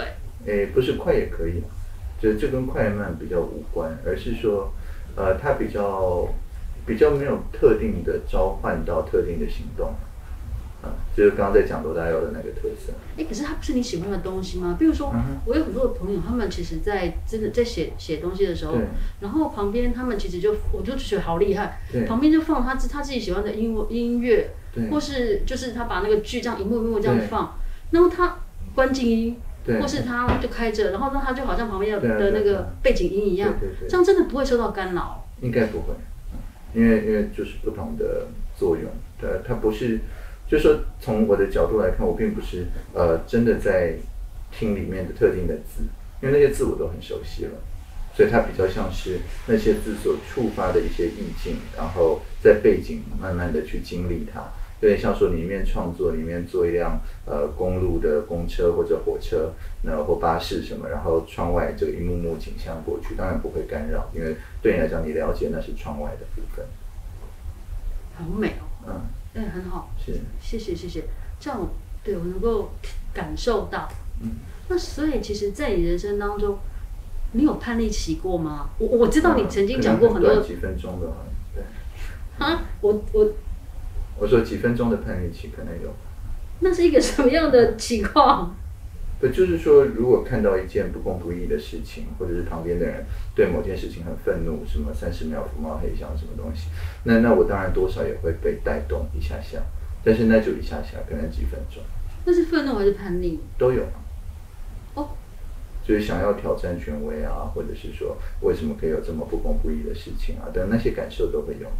嗯，对，但大概就可能两分钟、三分钟就过了。那个是现在嘛，对不对？呃，一向都是这样，你小时候也是这样吗？就是从有记忆就是这样。从有记忆就这样对，所以其实就是说我也是就是在求证一下，就是我从另外一个朋友里面有看到，就是说，就是说在之前就是说也也因为就是说你就是说我曾经发生过，就是我们之前有讨论过的霸凌事件有没有？所以你好像仿佛就是比较嗯呃喜欢保护弱者，所以其实可是这两个逻辑是不太一样的，一个是不公不义，一个是保护弱者，这两个逻辑仿佛是不太一样。你如果想办法不让不公不义的事情能够再发生，你无形之中就是保护未来的弱者，虽然你还不认识他们。对，好，理解。好，我我我我，差不多今天也让你休息，刚你刚刚的对叛逆其实是一种持续的一种状态，嗯但每次就是短短暂。对对对，是这样。最后最嗯最后最后嗯让你，因为我因为我知道你开会其实你也蛮累的，因为就是，那你既然有看听过，这是个人私心啊，是既然既然嗯你有你你有你有听过那个就是卢大佑的那个线上记者会有没有？嗯，那你有听过那个蔡澜清的《我的世界》吗？好像有，但是现在不会背。不是，对不用背，你为什么要对自己要求这么多呢 对，OK。但有听过是吗？好像就是那个台大的那个，对啊，你干嘛？嗯好，没事，那没有就没有没有就那个，你可以拒绝我拒绝我的那个啊。不是啊，你如如果你有神来一笔你有什么想要讲的事情的话，就是什么有一点希望，有一点失望。对对对，因为他不是他不是当当然有听过，不是老舍，他也不是像诗一样，比较有音乐性的。对，对，他就相对来讲比较有音乐性，但他对许多的那个年轻人来讲，他其实影响还蛮大。到现在，那我就会很好奇，就是说，那那他既然他不是老舍，有没有？那是不是就是说他就是对调子我会记得嘛，哒哒哒哒哒哒哒哒哒哒，但是词我就不会背了。但如果真正意义上的诗词我会记得，但是调子未必记得。而且很准哎、对，对啊，对，那你对啊，而且对啊，你干嘛对自己要求那么严啊？我记都记不起来了。是吗？可是我觉得像线上七二变，就是对我来讲，如果真的要变成像窗外的风景，那对我来讲，这些字就是每一个字都是很熟悉的，才真的能够变成在背景听，不然我就会被那些字，带走要要听清楚那些字嘛，对。因为你已经不为所动，专心一致了，对不对？对，然后就是可能我现在一面在跟你对谈，但是你刚刚讲现在七十二变，我呃另外一个空间就是我知道呃我知道你开始对就可以开始放，对，黄冈有七十二个烈士，黄石有七十二个日子，东方魔法七十二有没有等到民国七十二我就知道。或者都会改变，有朝苍叶变成桑田等等，哇，对，我刚刚就在想，所以我才会问他那个，对啊，那我们是，我们嗯。如果对对，以后这本书写完，可以做，可以随着您做公益的。好，很棒，哦，没有，就是我，因为我我我觉得我可以慢慢 get 到你的那个，我可以跟我可以嗯。有共情。的。有有这个同步，对，有没有？我们的总经理他也看了我们的影片啊，然后马上也被你那个啊是吗？对他已经变成你的粉了，啊，OK。所以他哇塞，你看你希望圈圈收到老婆粉，对，他先希望说，哎，下一次如果有可以的话，您同意的话，他也会想来没问题啊，没问题啊，当然，当然。好，那今天就先到这边。好，谢。好谢，谢谢谢谢谢。谢谢。